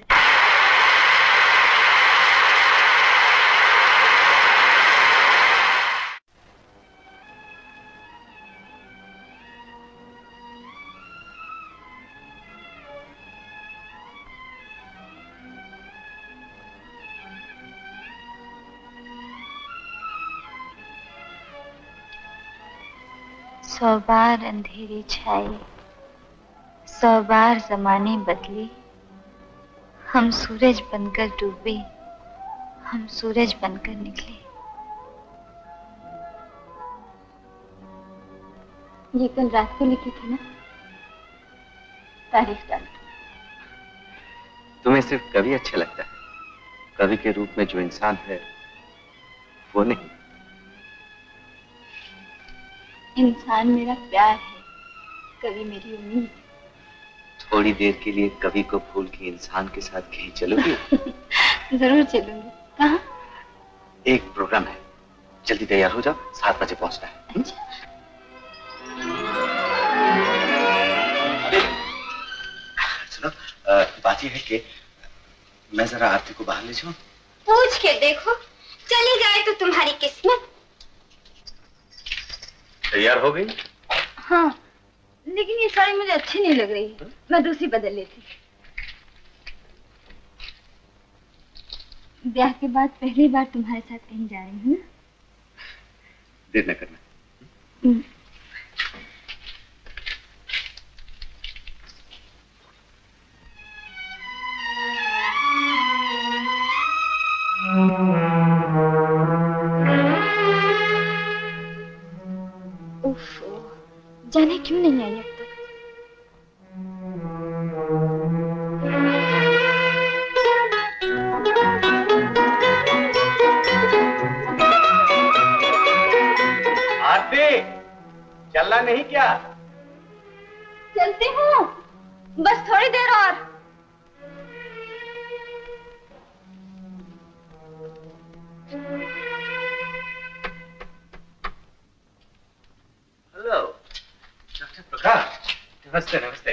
कैसे आना हुआ? अर्थ घर में है? जी। मुझे उससे काम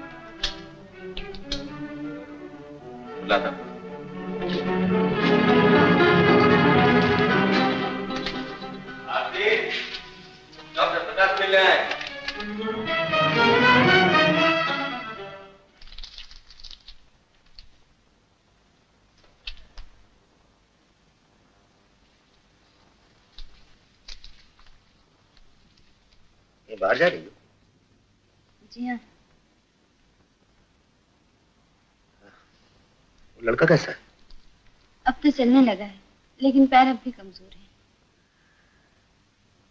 वो उस सैंपल के बारे में मैंने कहा था। और नमस्ते डॉक्टर साहब। नमस्ते। इतने दूर से तकलीफ़ करके आए हैं क्या एक प्याली चाय भी नहीं पूछोगे? मेरे पास वक्त नहीं है। नमस्ते।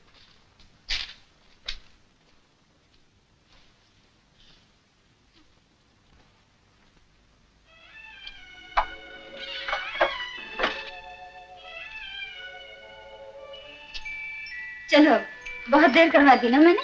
किसी का इंतज़ार करना पड़े तो देर हो ही जाती है। इंतज़ार? हाँ हाँ। डॉक्टर प्रकाश का पहले ही बता दिया होता।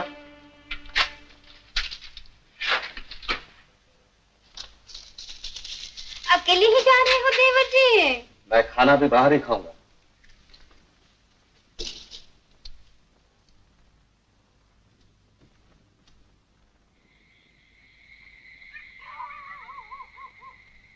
खाना खाया? और नहीं तो क्या भूखा मर जाता?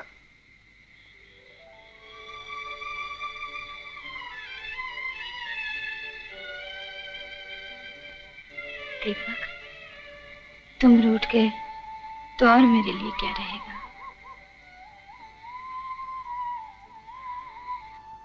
चलो। कहा?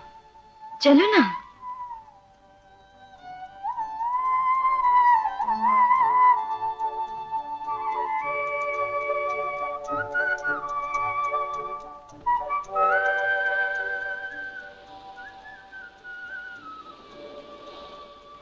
बात करने की कसम खाई है क्या? मैं तुम्हें अपना नहीं बना सका। तो किसकी हूँ मैं? तुम्हें मालूम होगा। भूल गया तुमसे ब्याह क्यों किया था? मुझ पर तरस खाकर। हाँ क्योंकि तुम बड़े सीधे हो। कुछ नहीं समझते। ये कैसे समझ लिया कि मैं डॉक्टर प्रकाश का इंतज़ार कर रही थी? तो फिर किसका इंतज़ार कर रही थी? रमा का जो अपने पति से मिलने गई थी। तुम सुशील से खफा हो ना? इसीलिए तुम्हें नहीं बताया। लेकिन सुशील? मैंने ही उसे बुलाया था। वो रमा से भी मिला है। कहता है रमा को वापस ले जाएगा। मैं मानती हूँ कि ज़िंदगी के चंदन है। अपने लिए भी चुन लेने चाहिए। लेकिन उन्हीं लम्हों में अगर हम किसी दूसरे को अपने से ज़्यादा खुशी पहुँचा सकें तो तो हम ज़िंदा कैसे रहे? चाँद की तरह जो इसीलिए चमकता है कि दूसरों को चांदनी मिले। सांस की तरह जो खुद सोच में डूब जाता है ताकि सुनने वाले छू उठे।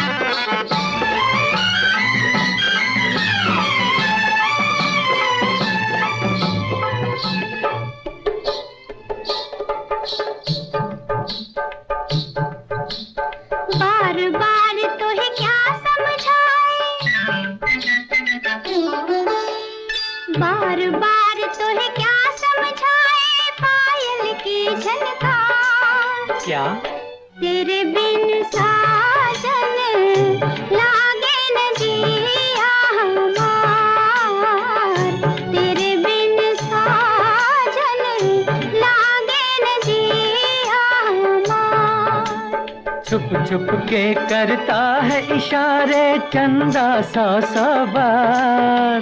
क्या? आ तो है सजनी ले चलूँ नदिया के पार। तेरे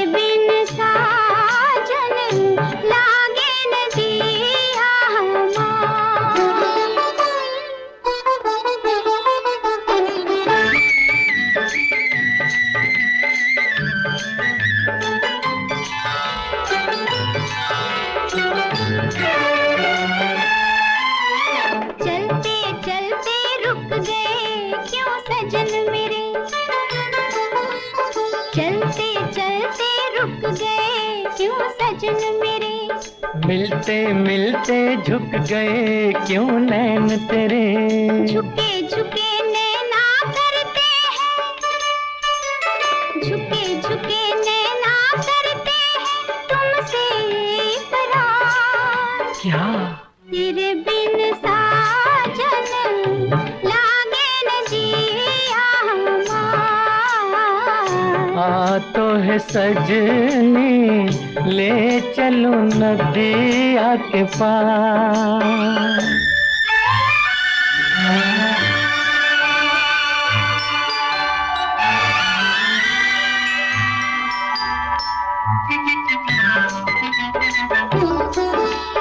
दरिया ऊपर चांदनी आई संभल संभल। दरिया ऊपर चांदनी आई संभल संभल। मेरा गया मचल मचल। एक बात कहता हूँ तुमसे। एक बात कहता हूँ तुमसे ना करना इनकार क्या? आ तो है सजनी ले चलो नदिया के पार। तेरे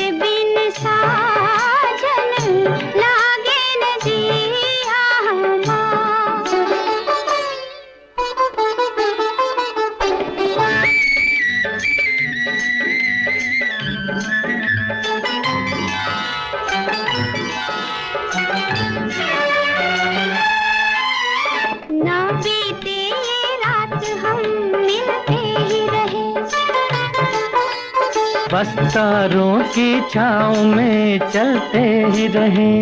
नाम तेरा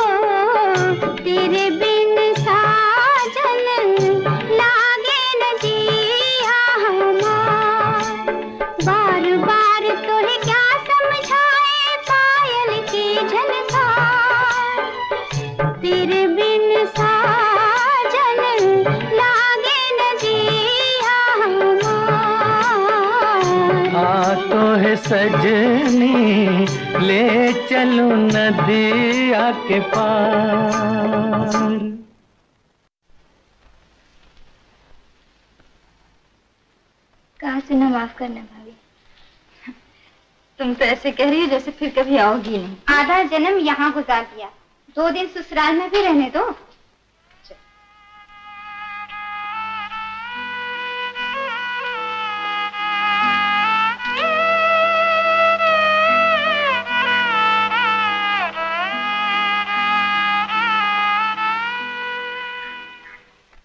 सरला सरला डार्लिंग मुझे आज पहली तनख्वाह मिली है।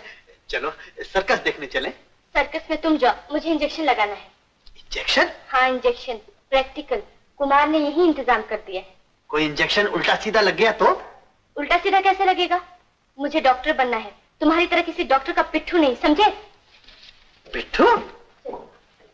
ओके। पिट्ठू।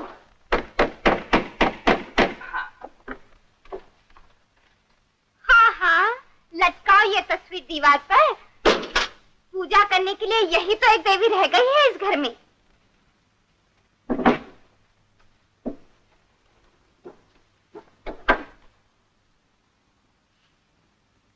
आज आरती के ब्याह की पहली सालगिरह है जसवंती। क्यों ना हो?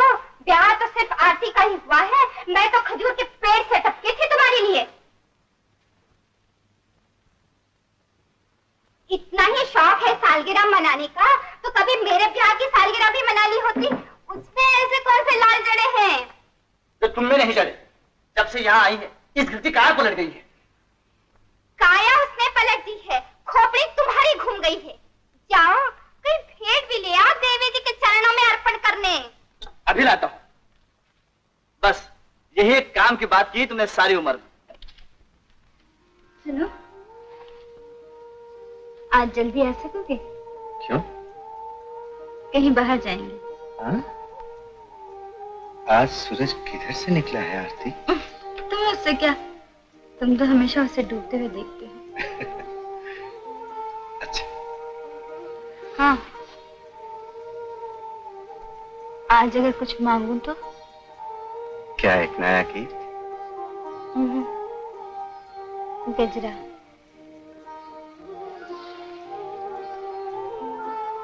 ज़रूर लाऊँगा। अच्छा चला। जल्दी आना। हाँ।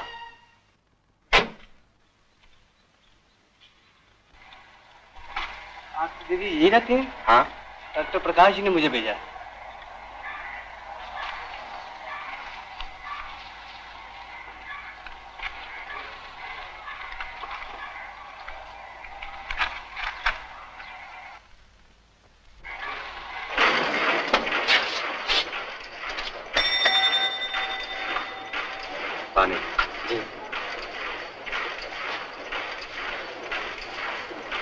रजिस्टर्ड लेटर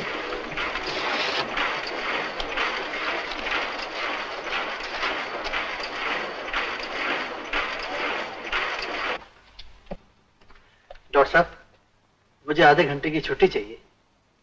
आ सकता thank you doctor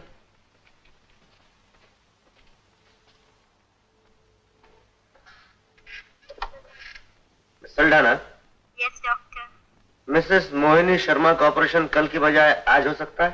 yes doctor good fix कर दो पाँच बजे। लेकिन लेडी डॉक्टर लेडी डॉक्टर आ जाएगी।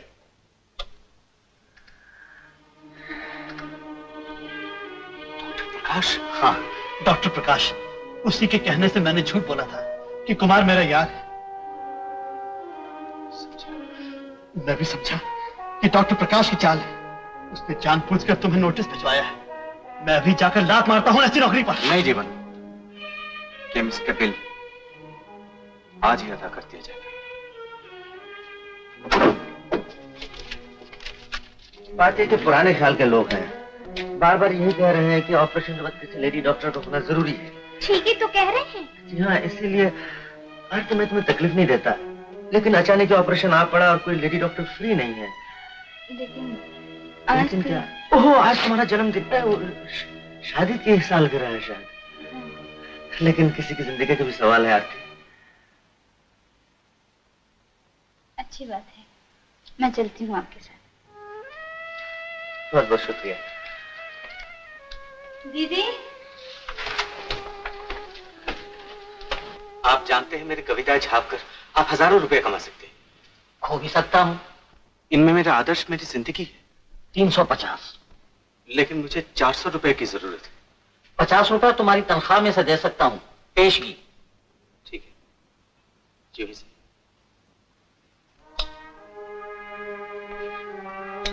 चलिए। करना। देवर समझा दूँगी। कहिएगा मेरे साथ गई हाँ यही तो कहूँगी।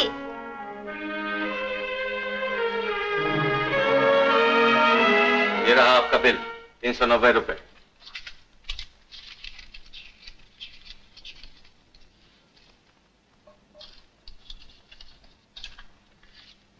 रसीद भिजवा दूँगा। क्यों? मुझे अभी चाहिए।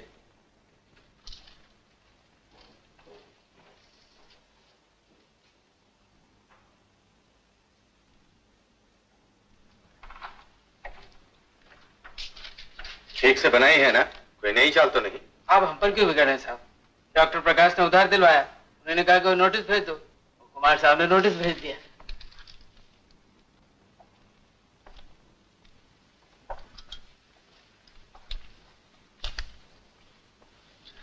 मैं बैठा हूँ, मैं आता हूँ।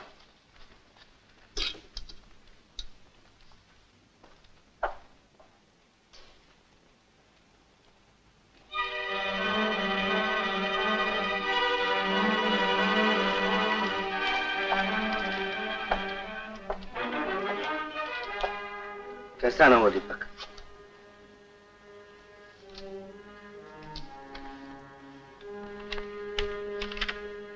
दवाओं का बिल जी दवाएँ जो आपने मुझे उधार दिलवाए धोखा देकर बिल जो आपने ज़बरदस्ती भिजवाया मुझे शर्मिंदा करने के लिए मैं समझा तुम और कुछ कर तो ये बिल तुमने चुका दिया नहीं तो क्या आपके आगे हाथ फैला था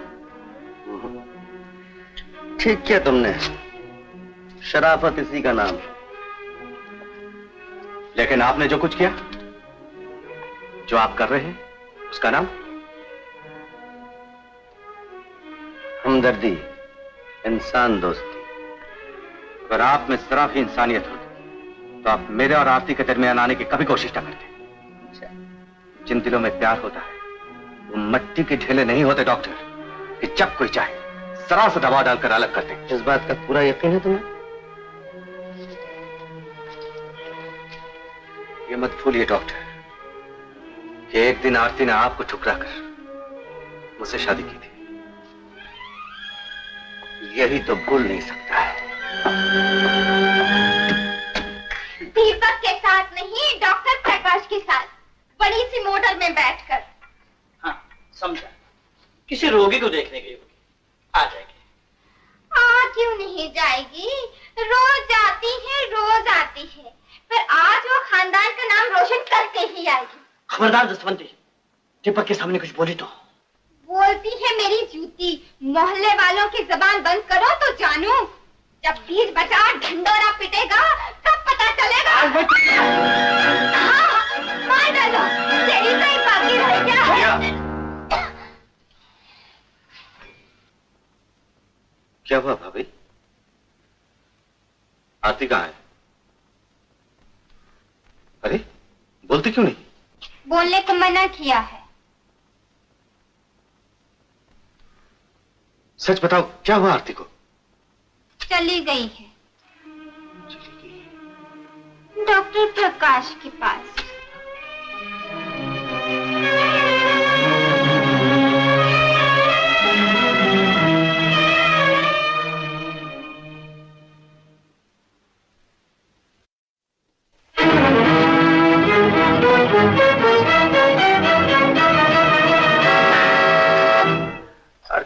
अब मैं तुम्हें घर छोड़ाऊँगा।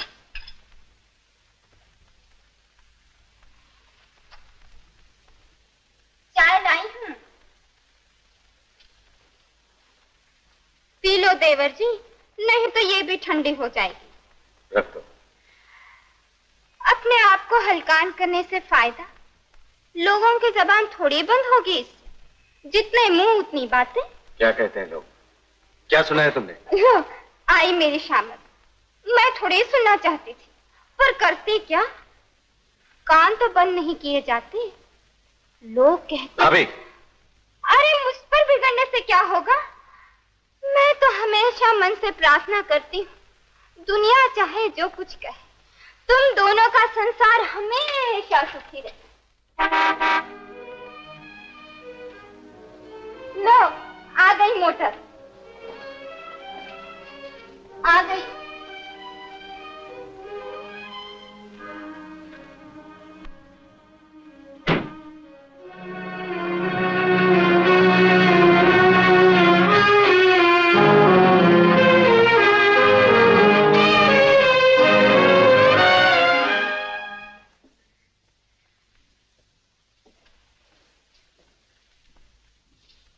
आज के दिन भी तुम्हें इंतज़ार करवाया ना? क्या करती? डॉक्टर प्रकाश खुद आ गए थे। नाजुक ऑपरेशन था। एक औरत का। दूसरी कोई लेडी डॉक्टर मिल नहीं रही। इसलिए तुम्हें लेकर कितनी अच्छी लग रही हो तुम। आज तो खूब सिंगार। अभी पूरा काम हुआ। लाओ। क्या? अरे भूल गए सुबह क्या मंगवाया था? वहाँ है।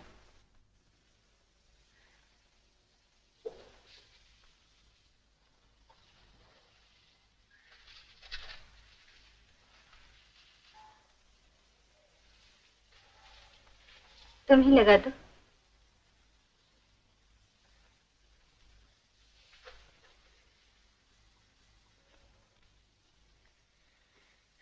आज बहुत दिन के बाद महसूस हुआ कि मैं भी एक डॉक्टर हूँ। और क्या महसूस हुआ? वाह।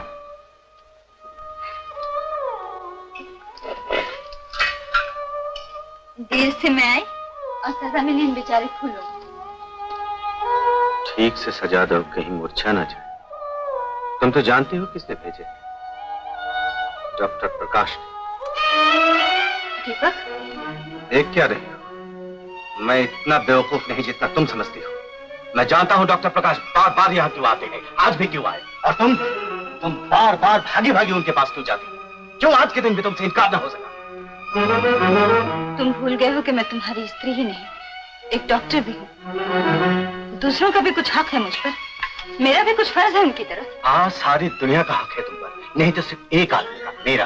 तुम्हारे पति का जिसकी आँखों में धूल झोंक कर तुम जब चाहो अपना फ़र्ज़ निभा सकते हो। दीपक सुनो तो।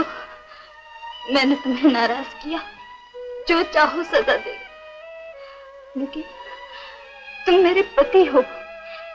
ऐसी बातें कहकर अपने आप को मेरी नज़रों से मत गिराओ। मैं सब कुछ सह सकती हूँ पर झूठी तोहमत बर्दाश्त नहीं कर सकती। तोहमत? तुम इसे तोहमत कहती हो? तुम्हारी वजह से आज मैं किसी से हाथ नहीं मिला सकता। इतनी ही तड़प थी तुम्हारे दिल में डॉक्टर प्रकाश के लिए तो मुझसे शादी क्यों की? झूठी खुशी के एक टुकड़े के लिए अगर डॉक्टर प्रकाश के आगे हाथ फैलाना था तो मेरा दामन क्यों थामा?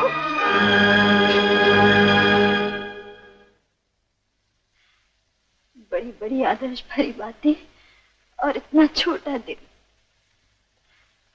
मैं तो ये समझती रही कि मेरा दीपक दूसरे पुरुषों जैसा नहीं पर आज पता चला कि सब पुरुष एक बराबर होते हैं। सब अपनी पत्नी पर पहरा देना अपना जन्म सिद्ध अधिकार समझते हैं। बस बस बंद करो अब ये खेल। खेल? खेल है ये? हाँ हाँ खेल अमीरी का खेल जिसने प्यार के पर्दे में गरीबी की हँसी उड़ाई सेवा का खेल। जिसकी आड़ लेकर तुमने इस गरीब घराने का इतना बड़ा अपमान किया। भगवान के लिए अब तक मुझे ज़िंदा रहने दो। मुक्ति दो अपने इस दोगले जीवन से, जिसके जहरीले धुएँ में तुमने हमारा सांस लेना मुश्किल कर दिया।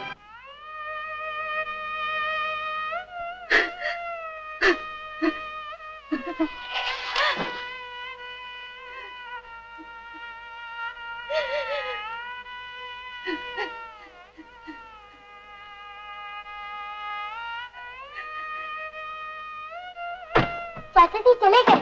मैं दादाजी को बुलाता हूँ।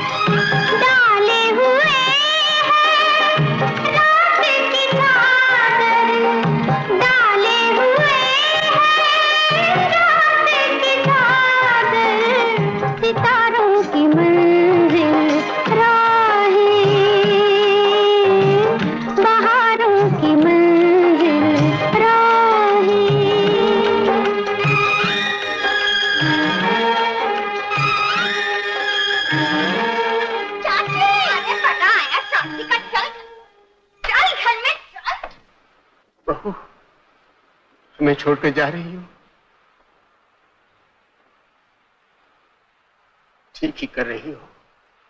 कौन रहेगा हमारे घर में? वो तो नरक है नरक। तुम्ही थी जिसने इतने दिनों से स्वर्ग बना रखा था। पिताजी। रमेश मानती जाओ घर जाओ।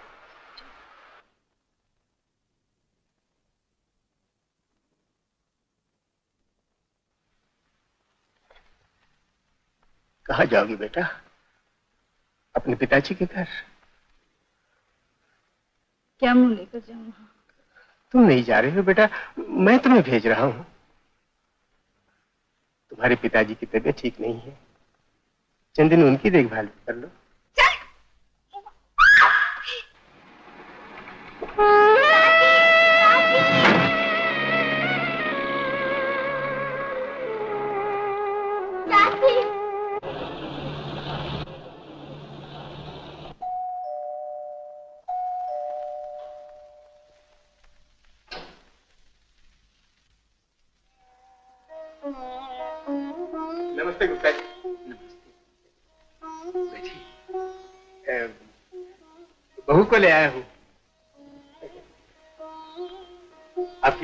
नहीं है? सोचा आपकी देखभाल कर सकेगी।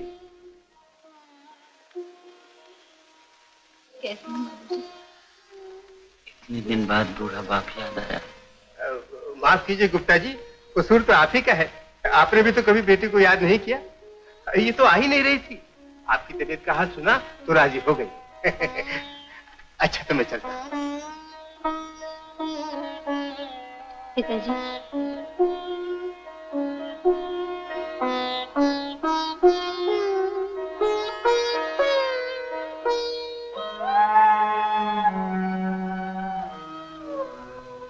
फिर आऊँगा बेटी? तुम्हें देखने फिर आऊँगा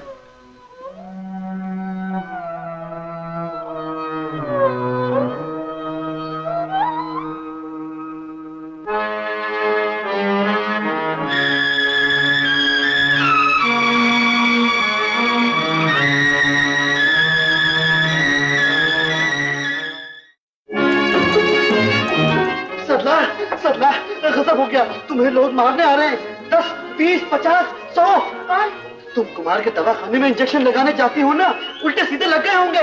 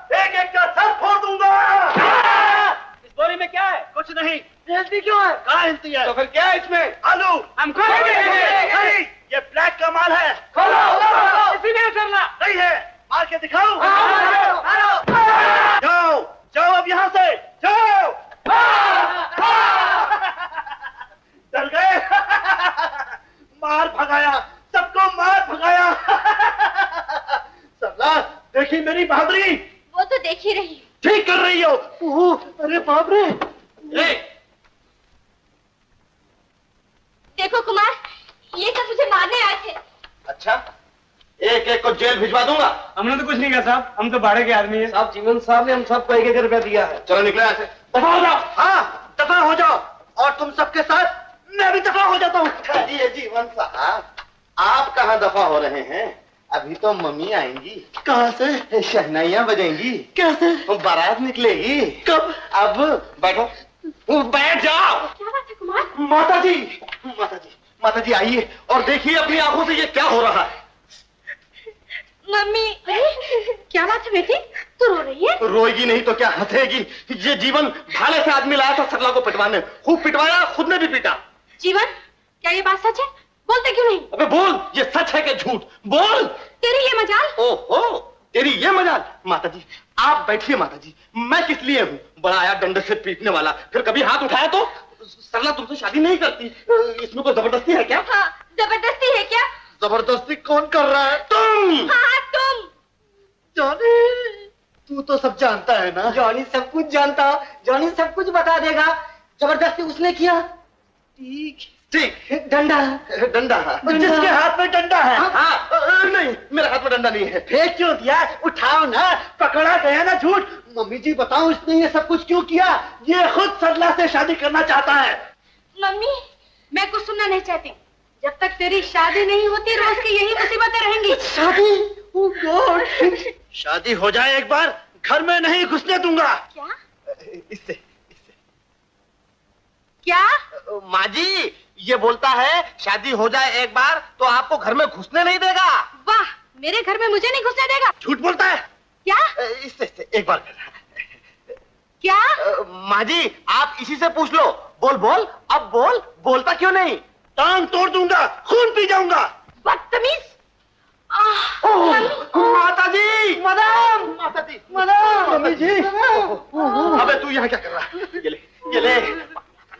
माता जी माता जी मम्मी मदाम एक मिनट ठहर के जाओ छोटा मेम साहब का शादी किससे होगा उसका नाम बता के जाओ। ब्लेसिंग करके जाओ।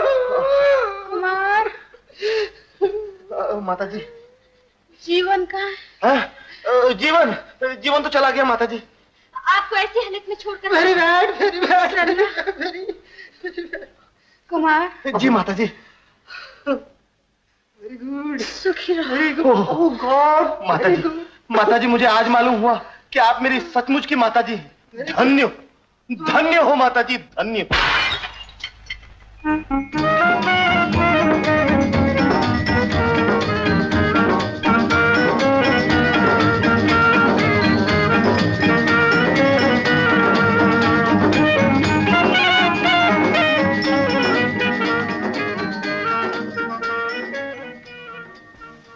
मुबारक हो।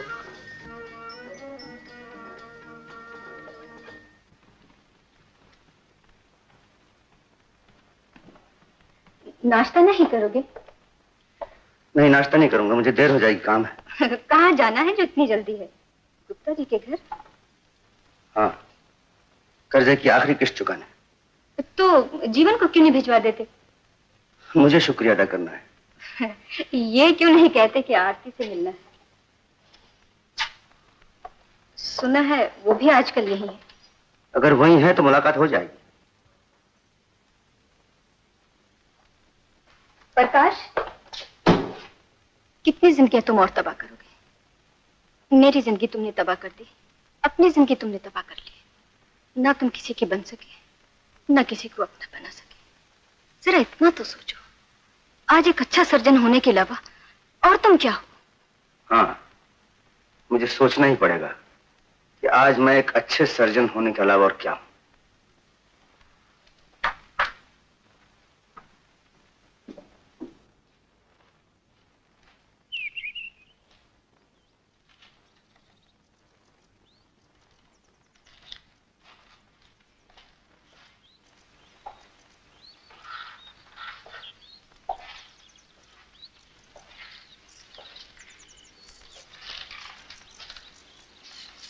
जी शायद गुप्ता जी को मालूम नहीं था तुम्हें यहाँ वापस क्यों आना पड़ा। गलती हो गई। ज़िक्र न करता तो अच्छा था।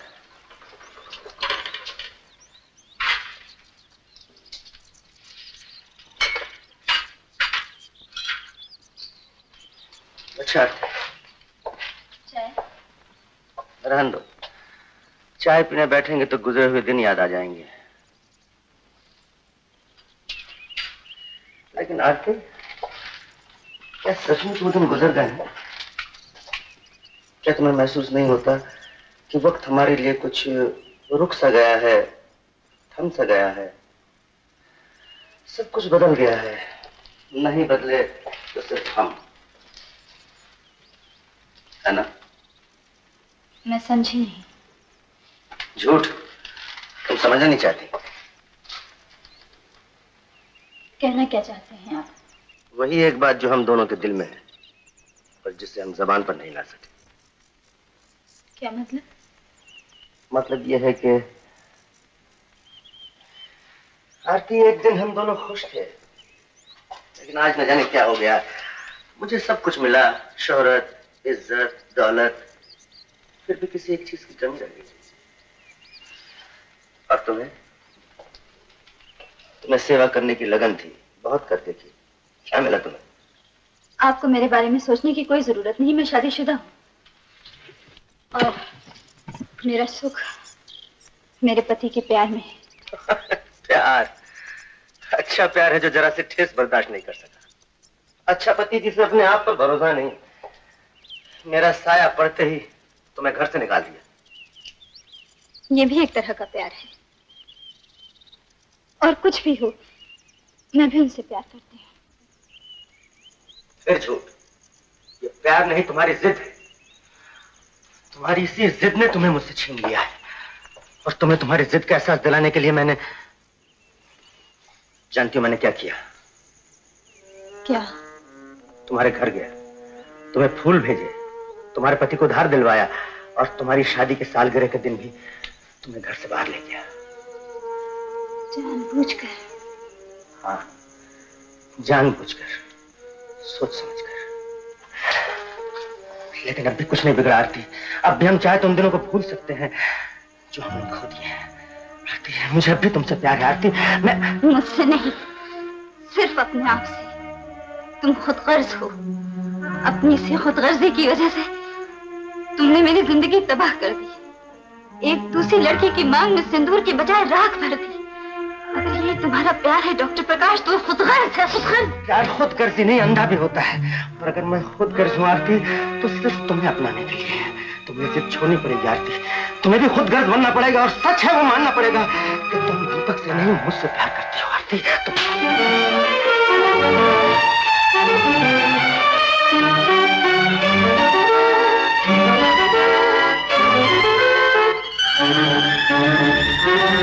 दीपक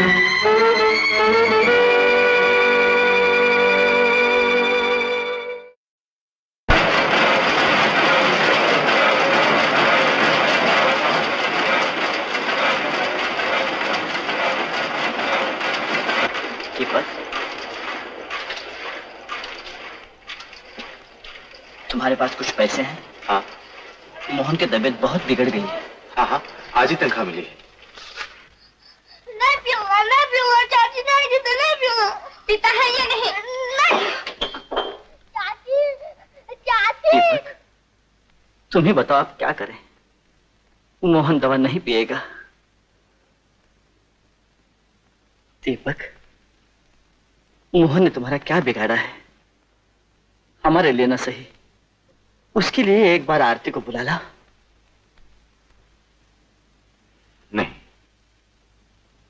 नहीं मेरा बेटा मर रहा है दीपक।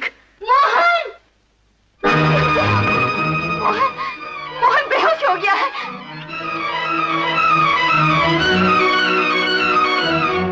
इस घर में सब मर जाएँगे कोई नहीं बचेगा। जिस घर में से आई लक्ष्मी को निकाल दिया जाए उस घर में किसी को जीने का अधिकार नहीं किसी को जीने का अधिकार नहीं।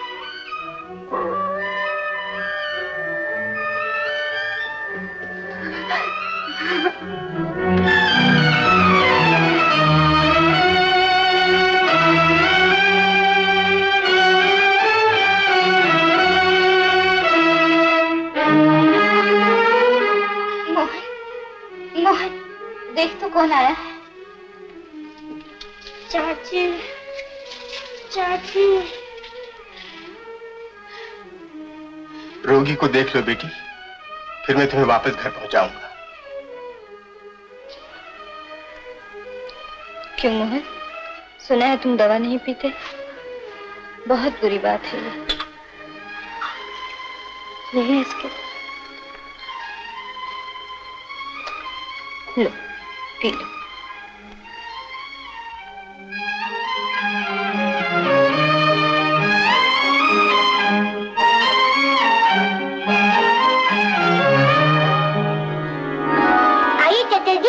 ठंडा हो रहा है।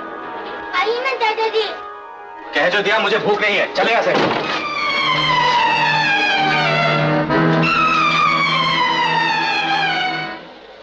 मोहन अच्छा हो गया? तो चाची फिर नहीं आएँगी? नहीं। क्यों? दादाजी चाची को चोरी से लाते हैं ना जब चाचा जी घर में नहीं होते। अब तो ये बिल्कुल अच्छा हो गया। अच्छा तो हो गया लेकिन क्या? कल से तुम नहीं आओगे ना? जब से तुम गई हो बच्चों का जी ही नहीं लगता पढ़ाई में। रोज मास्टर जी से मार खा के आते हैं। देवर जी रात को देर से घर आते हैं।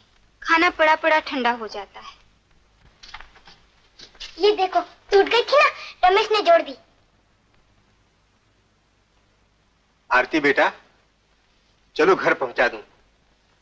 पहले ही बहुत देर हो गई है तुम्हें।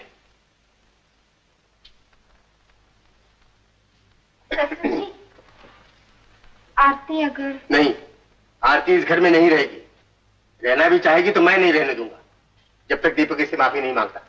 चलो बहू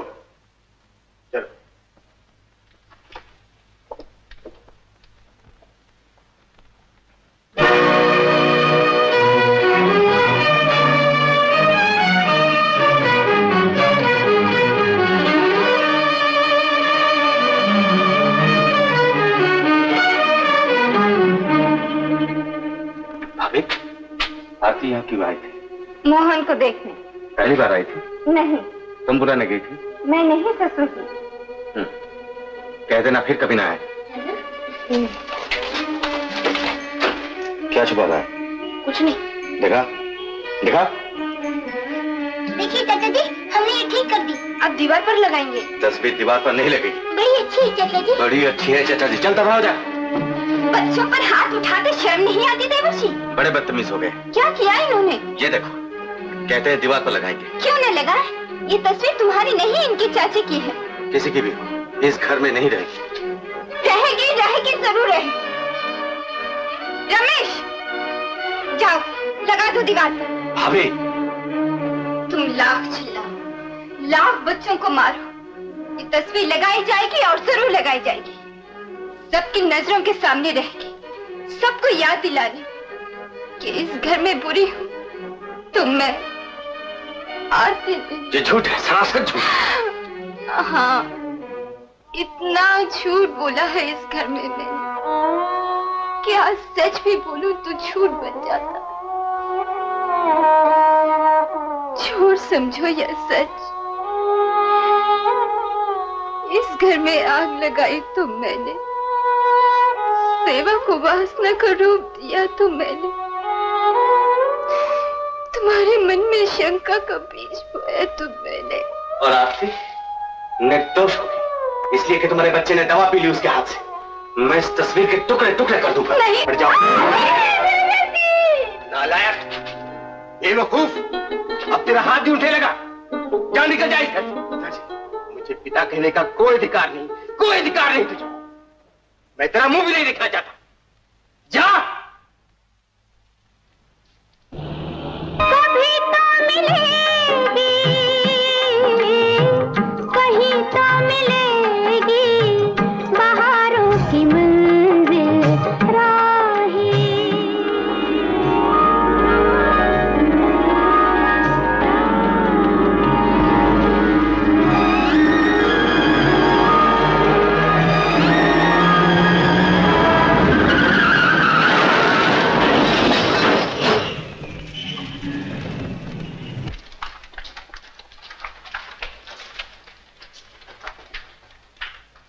डॉक्टर प्रकाश फ़ोन पर।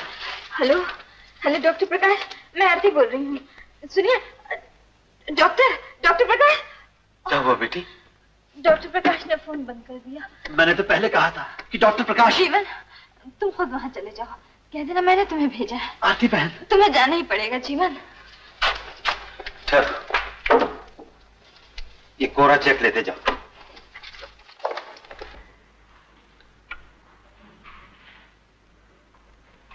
डॉक्टर साहब डॉक्टर साहब। इस वक्त क्या काम है? आरती बहन ने भेजा है। दीपक का ऑपरेशन करना है? जी हाँ जी हाँ।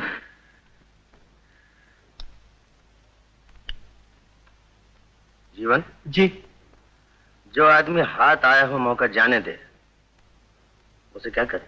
जी बेवकूफ़। तो मैं बेवकूफ़ नहीं बनना चाहता। यह मौका मैं हाथ से नहीं जाने दूँगा। बिल्कुल ठीक। यही तो एक मौका है रुपया कमाने का। ये साबित करने का कि आप कितने समझदार हैं। ये लीजिए पूरा चेक जितनी फ़ीस चाहिए भर लीजिए। कोरा चेक आरती बहन की मजबूरी। कहने लगी प्रकाश से कहना मेरा सुहाग आपके हाथ में है। आरती का सुहाग। उससे कह दो इन कागज़ के टुकड़ों से अगर उसका सुहाग बच सकता है तो बचा ले। मैं ये ऑपरेशन नहीं करूँगा।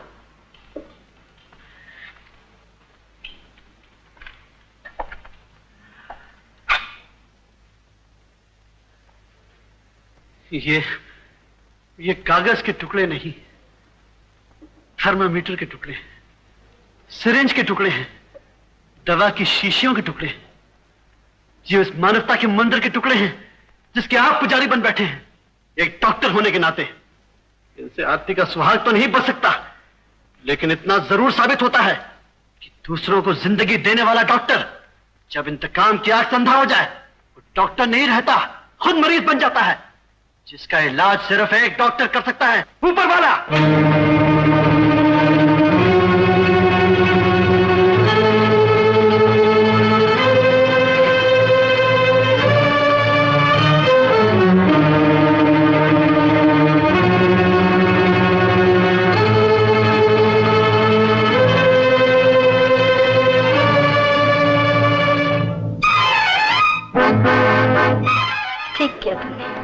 जो ऑपरेशन करने से इनकार कर दिया। हाँ ठीक किया।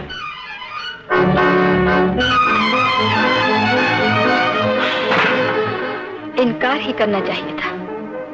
यही तो एक तरकीब है आरती से बदला लेने की। दीपक की मौत तुम्हारी जीत होगी।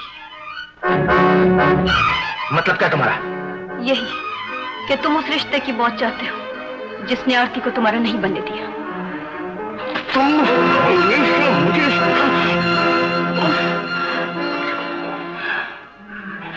गला दबाने से क्या होता है? सिसकियाँ ही रुक जाएँगी ना मेरी। तुम्हारे सीने की आग तो नहीं बुझेगी। ना वो और भी भड़केगी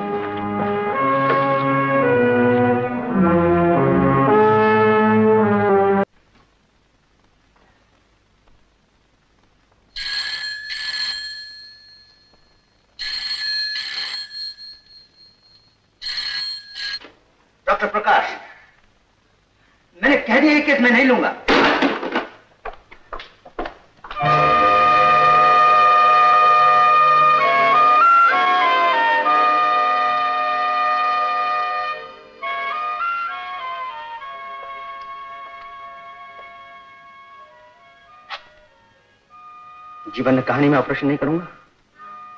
कहा है? तो फिर क्यों आई हो मेरे पास तुम? चले जाओ यहाँ से। मैं ऑपरेशन नहीं करूँगा। ये ऑपरेशन कामयाब हो तो मेरी हार होगी न हुआ तो मेरी बदनामी। याद नहीं तुमने मेरा अपमान किया था? हाथ उठाया था मुझ पर। मेरा हाथ प्रकाश पर उठा था। डॉक्टर पर नहीं तो जाओ किसी डॉक्टर के पास। प्रकाश के पास क्यों आई हो? कहाँ जाऊँ? डॉक्टर वर्मा बाहर गए हुए हैं। आपके सिवा। दूसरा कोई ब्रेन स्पेशलिस्ट नहीं है। ब्रेन स्पेशलिस्ट डॉक्टर और और कुछ नहीं। अगर दीपक को कोई बचा सकता है तो सिर्फ़ आप मुझे विश्वास है।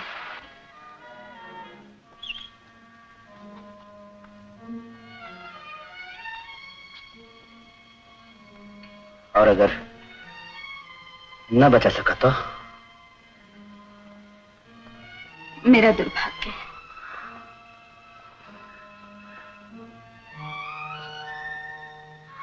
बदला लेना है तो मुझे से लीजिए। मरीज़ से क्यों?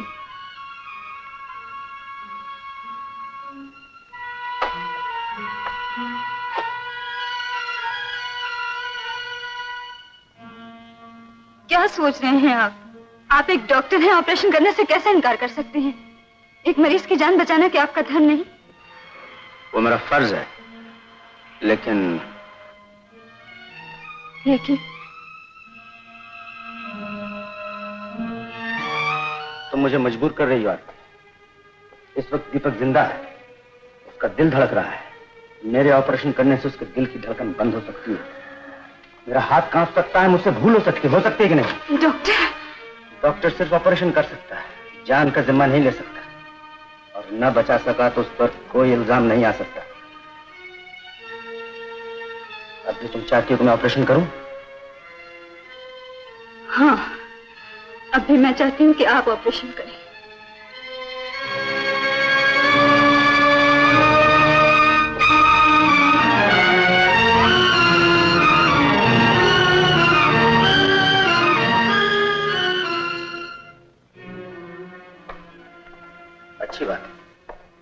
मैं ऑपरेशन करूँगा लेकिन उस वक्त तुम्हें मरीज़ के पास रहने की इजाज़त नहीं होगी।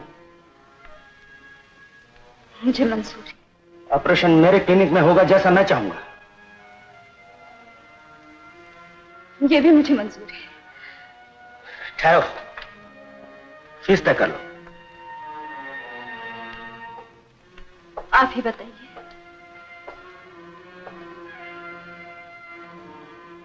जो मैं चाहूँ।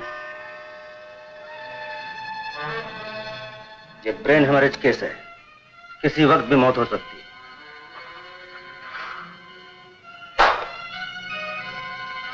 क्या फैसला तुम्हारा? अगर दीपक की जान की कीमत यही है तो ये भी मंजूर है मुझे। ये जान की नहीं ऑपरेशन की कीमत है गलत मत समझो। मुझे फिर भी मंजूर है।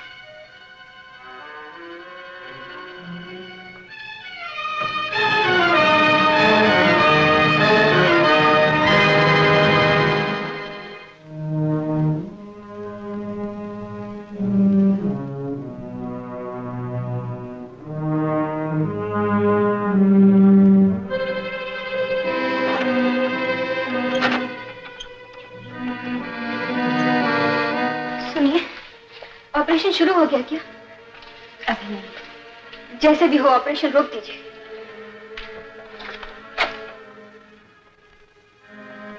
कुछ हो गया तो मैं रोकूँगी इस ऑपरेशन को, नहीं रोकूँगा। ये ऑपरेशन होगा, आरती। ये सिर्फ़ एक सुहागन के सुहाग की कसौटी नहीं, एक डॉक्टर की परीक्षा भी है। एक मरीज़ के लिए डॉक्टर ना बाप होता है ना भाई। दोस्त होता है ना दुश्मन, वो सिर्फ़ डॉक्टर होता है, एक फरिश्ता। अर्थ, तुमने अब तक दस्तखत नहीं किया।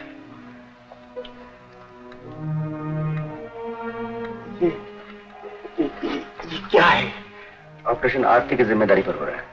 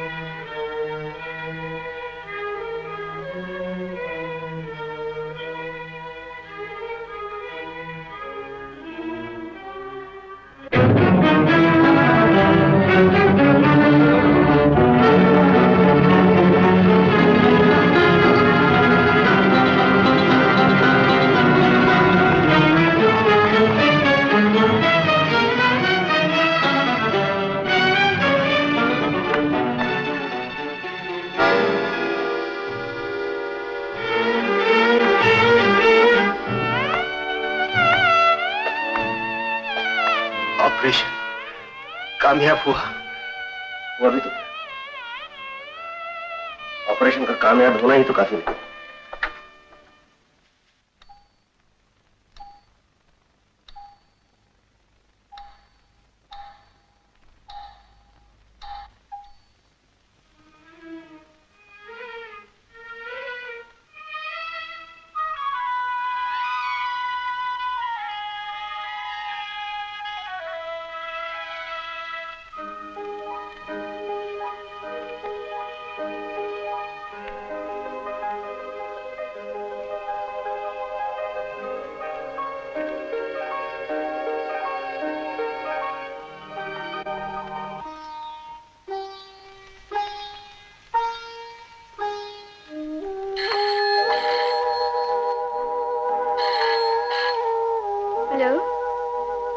यस डॉक्टर यस जी, बहुत अच्छा।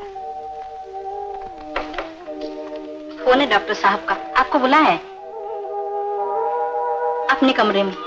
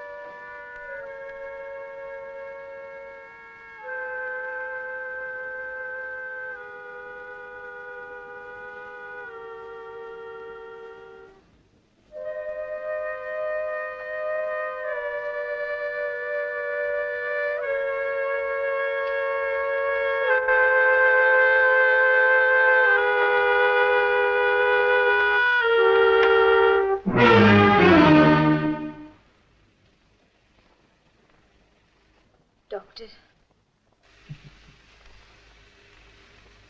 दीपक की जान को कोई खतरा नहीं। आपका बिल? अदा करना चाहती हो? कितना है? ये पूछो क्या है? क्या है? याद नहीं तुम्हें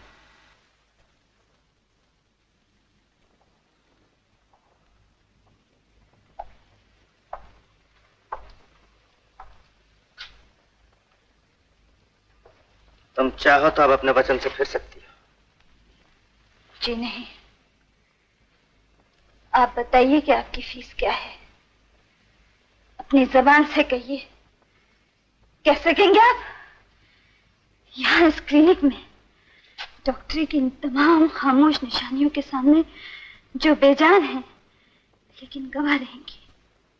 तमाम ज़िंदगी आपको याद दिलाती रहेंगी कि एक डॉक्टर ने एक मरीज़ की जान इसीलिए बचाई।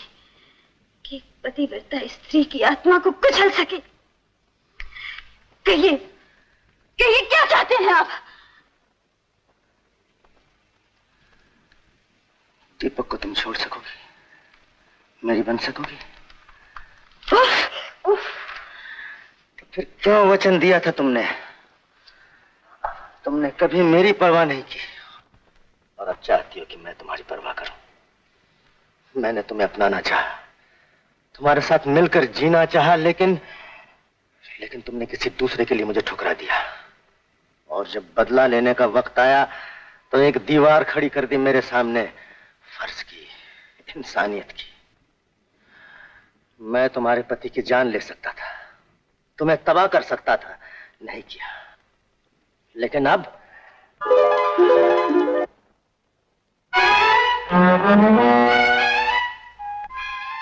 अब मैं तुम्हें खोना नहीं चाहता। आरती, अब तक मैंने जो कुछ किया मोहब्बत की खातिर, और अब जो कर रहा हूँ, वो भी मोहब्बत की खातिर। जहर, इसका मतलब है मेरी हार। लेकिन यही हार मेरी जीत है, मेरी मोहब्बत की जीत।